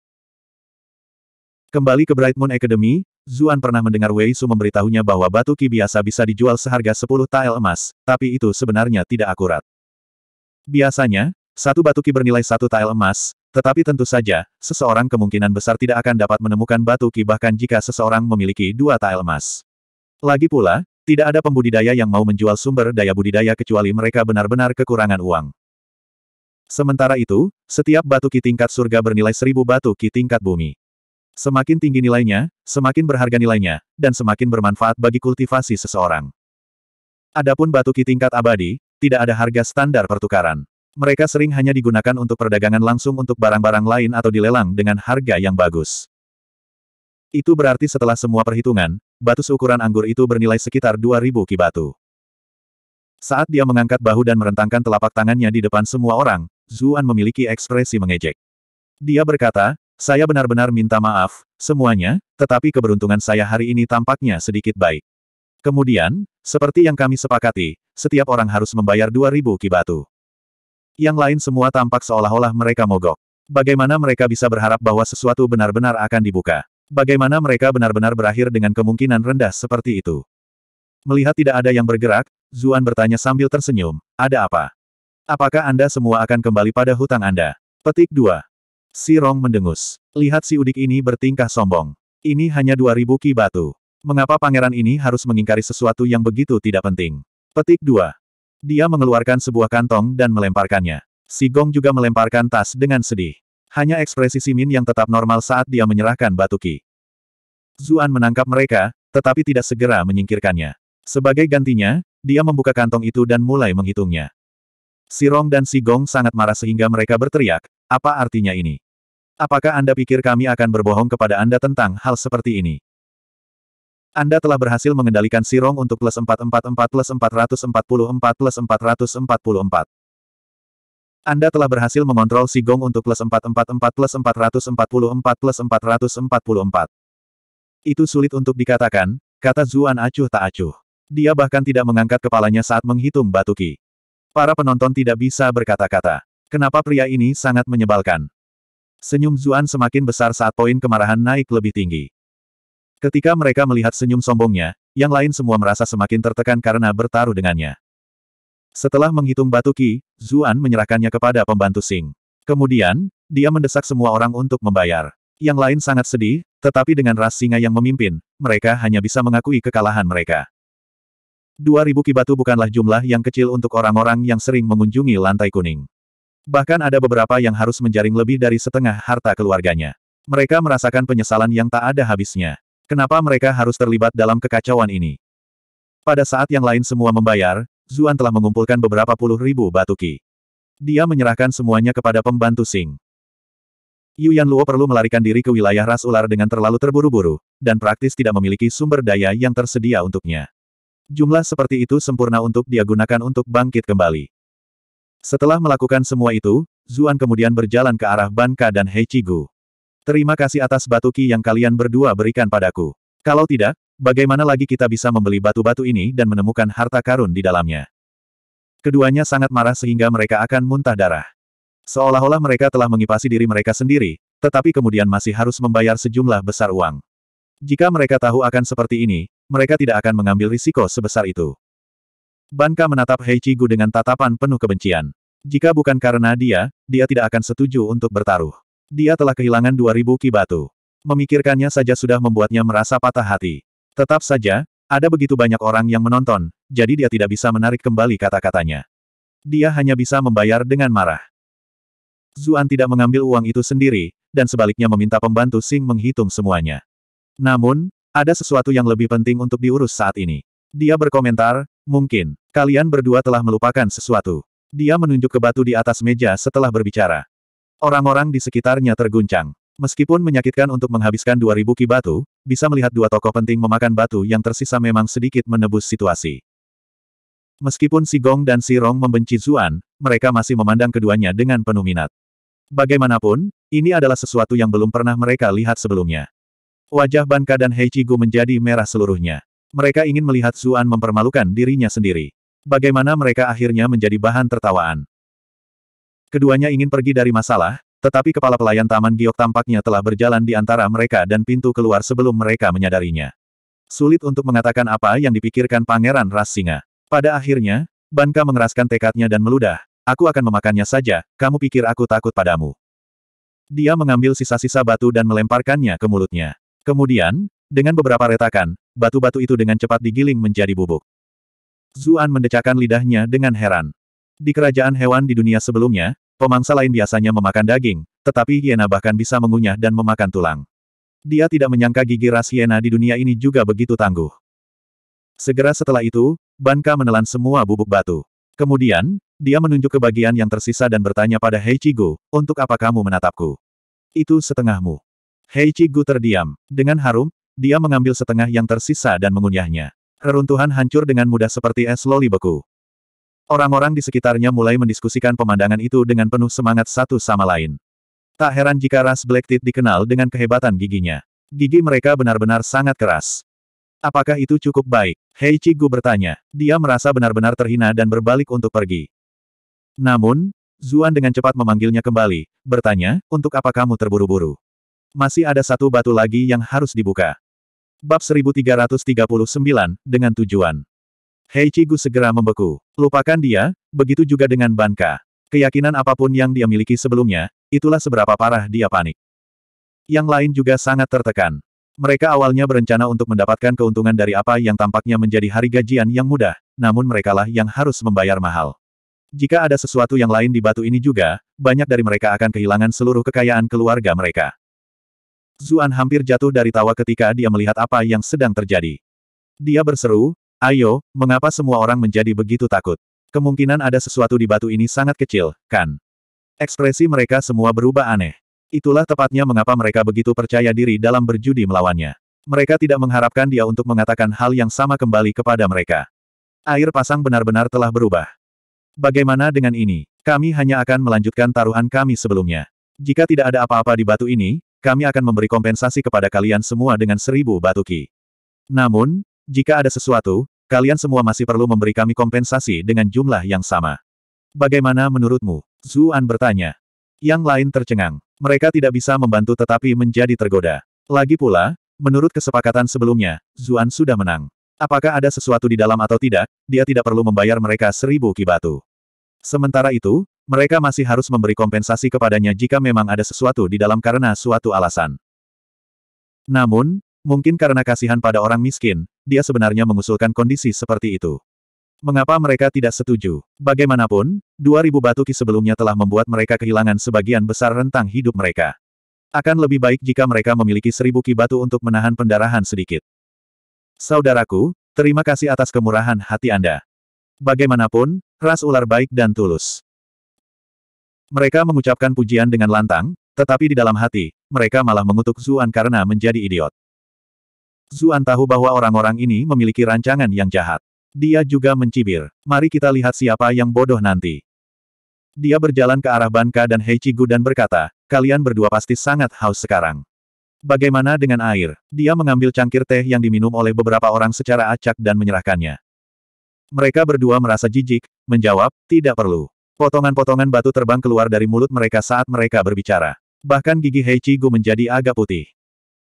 Anda telah berhasil trolling Banka untuk plus 555 plus 555 plus 555. Anda telah berhasil mengendalikan Heichigu untuk plus 555 plus 555 plus 555. Zuan melihat ke arah Simin dan yang lainnya, bertanya, jika para pangeran tidak keberatan, mengapa kita tidak membuka batu terakhir? Sirong dan Sigong secara naluriah melirik ke arah saudara ketiga mereka. Simin mengangguk sambil tersenyum, berkata, lomba singa kita paling peduli dengan mentalitas seorang ksatria. Kami tidak akan kembali pada taruhan yang telah kami sepakati. Itu bagus kalau begitu. Pak Tua, silakan mulai, kata Zuan sopan kepada kepala pelayan Taman Giok. Namun, di dalam hatinya, dia cukup bingung. Apakah Simin ini benar-benar murah hati? Kepala pelayan Taman Giok menatap Zuan dengan terkejut. Dia mengira ini adalah bocah yang terlalu sombong dan liar, tetapi sekarang, sepertinya dia sedang memakan harimau sambil berpura-pura menjadi babi. Dia mengangguk sambil tersenyum. Kemudian, dia mulai memotong batu terakhir. Sirong mencibir, Huff, barusan, itu tidak lebih dari seekor kucing buta yang tersandung pada tikus mati. Saya menolak untuk percaya bahwa Anda akan dapat menemukan apa pun. Petik 2. Banka berkata dengan simpati yang mendalam, apa yang dikatakan pangeran ketujuh memang benar. Bocah ini benar-benar agak terlalu penuh kebencian. Petik 2. Heichigu meludahkan segumpal ludah yang berisi pecahan batu ke tanah. Dia berkata, Huff, aku akan membuatnya merasakan batu nanti juga. Petik 2. Namun, begitu dia berbicara, hamparan merah yang menyilaukan memenuhi penglihatannya. Kali ini, kepala pelayan tidak perlu memotong untuk waktu yang lama sama sekali. Hanya satu irisan yang sudah menunjukkan bahwa ada sesuatu. Yang lain tercengang. Kami sudah selesai. Sudah selesai. Hanya batu kis ukuran anggur yang sudah membuat mereka berdarah, yang ini jelas jauh lebih besar. Bukankah mereka akan kehilangan seluruh kekayaan keluarga mereka? Heichigu menelan ludah dengan susah payah. Dia bahkan tidak mau repot-repot berurusan dengan pecahan batu yang menggaruk tenggorokannya, berkata, semuanya, jangan panik. Ini mungkin hanya lapisan kosong. Kami telah melihat hal-hal seperti itu sebelumnya. Kelihatannya bagus di luar, tapi di dalamnya hanya batu. Kamu benar, kamu benar. Yang lain tampaknya telah menemukan kenyamanan. Mereka semua menghela nafas lega. Itu lebih seperti itu. Bagaimana bisa ada sesuatu yang bagus dari lantai kuning? Apalagi beberapa batu termurah. Itu harus sedikit di permukaan. Ini pasti batu di dalamnya. Ya, harus begitu. Bahkan si Rong dan si Gong mulai berdoa dalam hati. Selanjutnya, Si Min, yang sebelumnya tampaknya memiliki segalanya dalam genggamannya, mengubah ekspresinya untuk pertama kalinya. Ekspresi kepala pelayan juga menjadi agak serius. Dia tidak memotong dengan berani seperti sebelumnya, malah memotong dengan sangat hati-hati. Saat lapisan luar batu jatuh, cahaya merah yang datang dari dalam semakin terang. Sementara itu, wajah orang-orang di luar menjadi semakin pucat. Pada akhirnya, ada batu permata merah seukuran kepalan tangan di bagian paling tengah, dan gelombang panas terpancar darinya. Seluruh ruangan tampaknya dipenuhi dengan ki yang sangat kaya yang jauh lebih murni daripada batu ki tingkat bumi dari sebelumnya. Aura ini, apakah itu kelas surga? Suara para penonton mulai bergetar. Yan Suehen sebelumnya sedikit mengkhawatirkan Suan. Ketika dia melihat itu, dia menghela nafas lega. Hitung anak ini beruntung. Yun Jianyu mendengus. Meskipun dia mengatakan bahwa dia sedikit kecewa karena dia tidak bisa melihatnya memakan batu, tidak ada sedikit pun kekecewaan di antara alisnya. Ini adalah bagian dari Soaring Flame Glass kelas surga. Ini memiliki efek luar biasa pada kultivasi pengguna elemen api. Bahkan suara kepala pelayan mulai bergetar saat dia berbicara. Meskipun dia telah membuka banyak hal yang lebih berharga daripada item ini, hal seperti itu yang keluar dari lantai kuning benar-benar belum pernah terjadi sebelumnya. Itu sudah cukup untuk menjadi legenda mutlak dalam perdagangannya. Berapa banyak batu ki yang berharga ini? Zuan bertanya. Di antara wanita di sisinya, Big Man Man adalah pengguna elemen api. Dia bertanya-tanya apakah dia membutuhkan hal seperti itu. Kepala pelayan berkata, setidaknya seratus batu ki tingkat surga. Ah, hanya seratus. Zuan bertanya, terdengar agak tidak puas. Ketika mereka berada di makam Lord Sui, terjebak di hutan kabut, jumlah batu ki yang harus diambil Suolun Si, Kong Nanjing, dan yang lainnya masing-masing untuk membantu Wu Liang mengaktifkan formasinya dan menyingkirkan kabut itu justru seratus batu ki tingkat surga. Namun, ketika dia memikirkannya, semua orang itu adalah generasi muda dari klan terbaik dari ras iblis. Sumber daya yang mereka miliki jelas bukan lelucon. Bahkan jika putri ras iblis dan putri ras raja merak membawa sekitar 100 batu ki tingkat surga saat mereka bepergian, tampaknya jumlah itu sebenarnya cukup sedikit. Yang lain marah ketika mereka mendengar apa yang dia katakan. Apakah ini sesuatu yang orang dengan hati nurani akan katakan? Ini adalah 100 batu ki tingkat surga, yang setara dengan 100 ribu batu ki tingkat bumi, atau 10 juta batu ki biasa. Jika mereka memiliki 10 juta ki batu, apakah mereka akan bermain-main di lantai kuning? Namun, karena keserakahan akan seribu batu ki, mereka akhirnya kehilangan 10 juta. Buk, buk, buk. Beberapa suara keras menyusul. Tampaknya banyak dari mereka kehilangan kekuatan di seluruh tubuh mereka, jatuh ke tanah. Heichi Gu memiliki ekspresi linglung. Klan Heichi dikenal karena ikatan mereka dengan kaisar, jadi 10 juta jelas merupakan sesuatu yang bisa dia bayar. Namun, dia hanyalah putra dari keluarga cabang, apakah dia memiliki hak untuk menggunakan begitu banyak batu ki? Banka bahkan lebih tertekan. Ras hiena awalnya buruk, dan kesadaran mereka akan bahaya agak kuat. Itu sebabnya, jika mereka memiliki batu ki, mereka akan menggunakannya untuk meningkatkan kultivasi mereka sendiri. Bagaimana mereka bisa memiliki banyak cadangan? Zuan tidak mencari mereka terlebih dahulu. Dan sebagai gantinya berjalan ke kelompok Simin. Dia memanggil, pangeran-pangeran ini di sini, sudah waktunya untuk membayar, kan? Bocah sialan, jangan pergi terlalu jauh. Si Gong dan si Rong meraung marah. Orang ini meminta mereka untuk membayar muka dengan muka. Anda telah berhasil mengontrol Si Gong untuk plus 444 plus 444 plus 444. Anda telah berhasil mengendalikan Si Rong untuk plus 444 plus 444 plus 444. Ekspresi Zuan menjadi dingin saat dia menjawab, apa, siapa yang sebelumnya membual tentang memiliki mental ksatria. Namun sekarang, Anda berpikir untuk menjadi bermusuhan dan gagal membayar hutang. Petik 2. Si Gong dan Si Rong hendak bertindak ketika Si Min menghentikan mereka, berkata, kami memang kalah. Ada 300 batu ki tingkat surga di sini. Aku akan membayar untuk saudara-saudaraku. Setelah itu, dia mengeluarkan kantong bordir yang berat. Semua orang bisa merasakan kikaya bahkan melalui tas. Orang-orang di sekitarnya mendecakkan lidah mereka. Ras singa benar-benar kaya dan berkuasa, bahkan seorang pangeran dapat dengan mudah mengeluarkan 300 batu ki tingkat surga. Si Gong dan Si Rong panik. Meskipun 100 batu ki kelas surga adalah jumlah yang bagus, dengan statusnya, itu bukan masalah besar. Namun, jika mereka akan terlihat buruk di depan umum karena itu, mereka akan merasa tidak enak. Kakak ketiga, bukankah kamu cukup pandai memilih batu? Mengapa Anda akhirnya memberinya dua batu yang berharga ini? Sirong bertanya pada Simin melalui Ki, terdengar kesal. Saudara ketujuh, taruhan rok tidak pernah 100% akurat. Ini tidak bisa disalahkan pada saudara ketiga, Sigong menjawab dengan cepat, mencoba menghentikannya. Ekspresi Simin sangat aneh. Dia berkata, sebenarnya, saya tahu bahwa kedua batu ini memiliki sesuatu di dalamnya. Apa, Anda tahu, tetapi Anda masih merekomendasikannya. Sirong hampir berteriak keras. Bahkan Si Gong menatap kakaknya dengan kaget. Bab 1340, keangkuhan dari tidak ada. Simin menghela nafas dan bertanya, apakah kalian semua benar-benar percaya bahwa mereka hanya memiliki 100 ki batu? Tentu saja tidak, jawab Si Gong dan Si Rong. Bagaimanapun, ini adalah Ratu Medusa yang dihormati. Tidak peduli berapa banyak ras ular telah jatuh, tidak mungkin mereka akan jatuh sejauh itu. Aku juga tidak. Alasan mereka mengatakan itu karena mereka agak dijaga terhadap kita.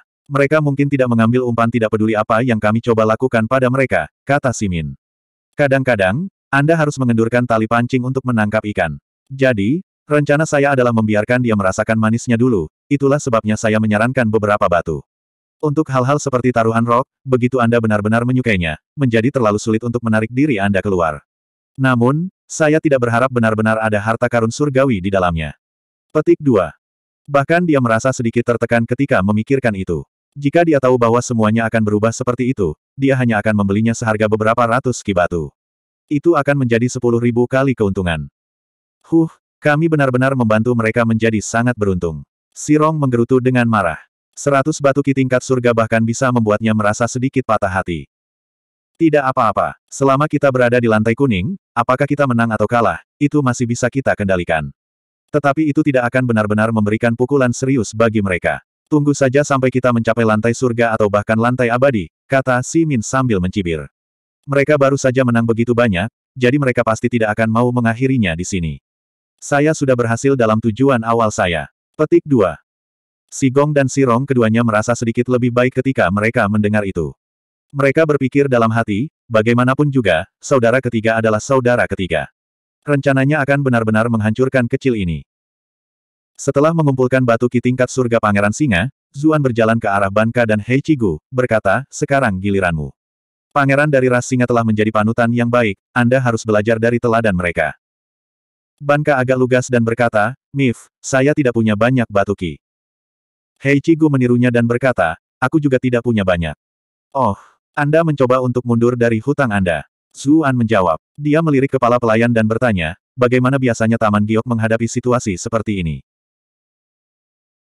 Kepala pelayan berkata sambil tersenyum, biasanya, jika kesepakatan dibuat di sini dan salah satu dari kami menjadi saksi, jika satu pihak ingin mengembalikan hutang mereka, satu tangan mereka akan dipotong sebagai tanda disiplin. Tentu saja, ini sekitar 100 batu ki tingkat surga, jadi satu tangan mungkin tidak cukup. Petik 2. Meskipun dia tersenyum, mereka yang hadir merasakan hawa dingin di punggung mereka. Zuan sedikit terkejut juga. Dia tidak menyangka Taman Giok begitu berani. Sepertinya saya salah sebelumnya. Perusahaan pedagang rubah di sini mungkin tidak memiliki hubungan apa pun dengan Tusan Yu. Dia tidak memiliki kekuatan sebanyak itu. Banka sangat marah. Baik atau buruk, dia masih pangeran klan. Kapan dia pernah diancam seperti ini sebelumnya? Dia akan bertindak ketika ekspresi Hei Chigu berubah dan dia buru-buru berkata, saya benar-benar tidak memiliki banyak batu ki, tetapi saya berhasil mendapatkan sepuluh batu pelangi tersembunyi. Nilainya kira-kira sama dengan Soaring Flame Glass, jadi saya akan menggunakan ini untuk membayar hutang saya. Petik 2. Tidak seperti Banka, dia telah menghabiskan waktu lama di pengadilan Raja Iblis. Dia jelas memahami kekuatan Taman Giok ini. Dia mengeluarkan kantong yang sangat indah setelah berbicara, di dalamnya ada sepuluh batu permata. Setiap orang berputar dengan kecemerlangan pelangi. Tidak heran mereka memiliki nama seperti itu. Batu pelangi tersembunyi. Kepala pelayan berkata dengan cemberut, benda-benda ini agak berharga, dan mereka dikabarkan bisa menempa senjata tingkat surga atau lebih tinggi. Namun, hal-hal tersebut hanyalah bahan pembantu dan bukan bahan utama. Selain itu, selain itu, mereka belum terbukti memiliki kegunaan lain. Jika tamu ini tahu cara memperbaiki senjata, benda ini akan sangat berguna, tetapi sebaliknya. Tamu kita harus memutuskan apakah dia akan menerimanya sendiri. Zuan sedikit terkejut. Evaluasi kepala pelayan sebenarnya condong ke arahnya. Tampaknya bersikap sopan padanya sebelumnya sekarang berguna. Dia berkata dengan santai, lupakan saja. Dilihat dari wajah orang ini yang terlihat lusuh, dia mungkin tidak bisa mengeluarkan banyak lagi. Ratu Medusa kami selalu murah hati dan tidak akan menyusahkanmu karena ini. Wajah Yu Yan Luo menjadi sedikit merah. Ah Zu terus menanggung semua kebencian, sambil selalu membuatku terlihat lebih baik. Dia sangat hebat. Zuan mengambil karung batu pelangi tersembunyi dengan tatapan jijik. Namun, dia sebenarnya sangat senang. Mungkin bagi orang lain batu pelangi tersembunyi hanya bisa digunakan untuk memperbaiki senjata, tetapi mereka memiliki kegunaan penting lainnya untuknya. Salah satu material penting yang diperoleh Valkyrie, Mosi, yang dibutuhkan untuk menembus ke level yang lebih tinggi tidak lain adalah Hidden Rainbow Stone. Dia merasa sedikit pusing ketika dia melihat bagaimana hal-hal yang dibutuhkan para Valkyrie adalah semua harta langka. Dia tidak tahu di mana mendapatkannya, namun begitu saja, dia telah mendapatkan satu set. Heichigu hampir pingsan di tempat. Tidak lama sebelumnya, dialah yang mengejek Zuan karena menjadi udik dengan seratus ki batu. Dia tidak menyangka nasib mereka naik dan turun begitu cepat.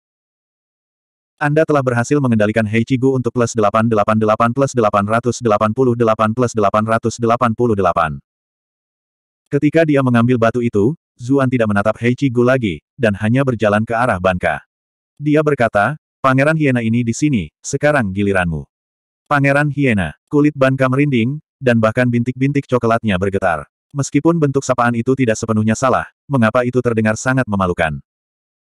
Anda telah berhasil trolling Banka untuk plus 555 plus 555 plus 555. Dia menatap Heichigu, lalu menatap Simin dan yang lainnya. Pada akhirnya, dia mengeluarkan batu permata dan berkata, ini adalah topas boulder yang baru saja saya dapatkan beberapa hari yang lalu. Nilainya kira-kira setara dengan soaring flame glass. Kepala pelayan Jade Garden mengangguk dan berkata, item ini memang memiliki nilai yang sama dengan Soaring Flame Glass. Ini dapat membantu dalam terobosan budidaya pembudidaya elemen batuan. Petik 2. Zuan mengambil batu topas dan menyatakan persetujuannya. Kemudian, dia menyerahkannya kepada Yu Yan Luo. Kekuatan garis keturunan Medusa terkait dengan elemen batu, jadi itu akan sempurna untuk membantunya masuk ke peringkat master segera. Yu Yan Luo menatapnya dengan lembut dan berkata, terima kasih gelombang. Yun Jianyu tidak bisa menahan diri untuk tidak berkata dengan sedikit cemburu, Huff, dia hampir harus makan batu karena taruhan ini. Namun dia masih tidak lupa untuk menggoda wanita sesudahnya. Yan Suehen tidak berkomentar dan hanya mengerutkan kening. Mengapa saya merasa sangat bertentangan? Jangan bilang aku benar-benar. Ketika dia melihat Zuan menggunakan hartanya untuk menggoda seorang wanita, Banka menjadi marah dan benci, tetapi dia tidak bisa berbuat banyak di Jade Garden. Namun, begitu dia pergi, dia bisa mengatur agar beberapa orang menyergap Snakeres. Tidak hanya dia kemudian akan merebut kembali boulder topas, dia akan bisa mencuri soaring flame glass itu, serta semua batu ki tingkat surga yang telah dimenangkan ini. Ras Hiena sebenarnya telah melakukan penjarahan semacam itu berkali-kali. The Boulder Topas sendiri telah diperoleh dengan merampok kelompok pedagang. Dia merasa jauh lebih baik ketika memikirkan itu. Dia hanya menganggapnya sebagai meninggalkan barang-barangnya untuk dipegang orang lain sebentar. Begitu saatnya tiba, dia akan mendapatkan lebih banyak sebagai balasannya. Ketika dia memikirkan semua batu ki yang akan dia dapatkan, dia mulai bernapas dengan tergesa-gesa. Aku akan menjadi sangat kaya. Dengan semua sumber daya itu, saya akan bisa menjadi lebih kuat dan naik di atas saudara-saudara saya. Siapa tahu, saya bahkan mungkin menjadi kandidat kuat untuk pemimpin klan berikutnya. Selain batu ki, ada juga keindahan yang luar biasa, Ratu Medusa. Selain dia, kedua wanita di samping itu agak biasa, tetapi pantat mereka berkualitas tinggi. Bukankah semuanya akan sama jika kita mematikan lampu? Semakin dia memikirkannya, semakin bahagia dia. Senyum muncul di wajahnya. Semua orang yang hadir hanya menganggap Banka menjadi gila karena kalah. Hanya Zuan yang memiliki tebakan kasar tentang apa yang dia pikirkan. Dia mencibir. Jika orang ini ingin mati, aku akan membantunya. Kemudian, Zuan mulai menagih hutangnya dari yang lain. Namun, bagaimana orang-orang itu bisa memiliki begitu banyak batu ki? Mereka juga tidak memiliki harta seperti boulder topas. Tetap saja, itu semua dalam harapannya. Dia menyuruh mereka mengambil semua barang berharga yang mereka miliki, bahkan praktis melucuti pakaian mereka. Kemudian, Masing-masing dari mereka harus menulis catatan hutang dan menyerahkannya kepada pembantu Sing. Orang-orang ini berasal dari ras yang berbeda, jadi bahkan jika mereka tidak dapat membayar kembali hutang, ras ular dapat menggunakan catatan hutang mereka untuk bernegosiasi dengan klan mereka, menggunakannya untuk membeli suara dan hal-hal lain. Hei Cigu dan Banka segera merasa menyesal. Jika mereka tahu tentang itu, mereka akan menulis catatan hutang juga. Mengapa ini memperlakukan yang lain dengan sikap yang sama sekali berbeda? Anda telah berhasil mengendalikan Heichigu untuk plus 444 plus 444 plus 444. Anda telah berhasil trolling Banka untuk plus 444 plus 444 plus 444. Keduanya bertukar pandang. Kemudian, mereka berbicara secara diam-diam melalui Ki. Di samping, Simin menyaksikan apa yang terjadi dalam diam. Kemudian, dia berkata, saya mengucapkan selamat kepada Ratu Medusa. Panenmu hari ini cukup kaya. Ini semua berkat bantuan tiga pangeran, kata Yu Yan Luo sambil tersenyum. Si Min praktis tersedak. Wanita ini sama tajamnya dengan pria bernama Yan Su itu. Namun, dia dengan cepat menenangkan dirinya dan menyarankan, karena keberuntungan ratu sangat bagus, bagaimana kalau kita bermain beberapa putaran lagi? Itu, Yu Yan Luo agak ragu-ragu. Yang lain juga berteriak. Siapa yang pergi segera setelah menang? Tepat. Mengapa Anda tidak membiarkan kami menonton lebih lama lagi? Petik 2. Zuan menatap para penonton yang hanya ingin melihat dunia terbakar dan bertanya, apakah kalian semua memiliki batu ki lagi untuk dipertaruhkan dengan kami?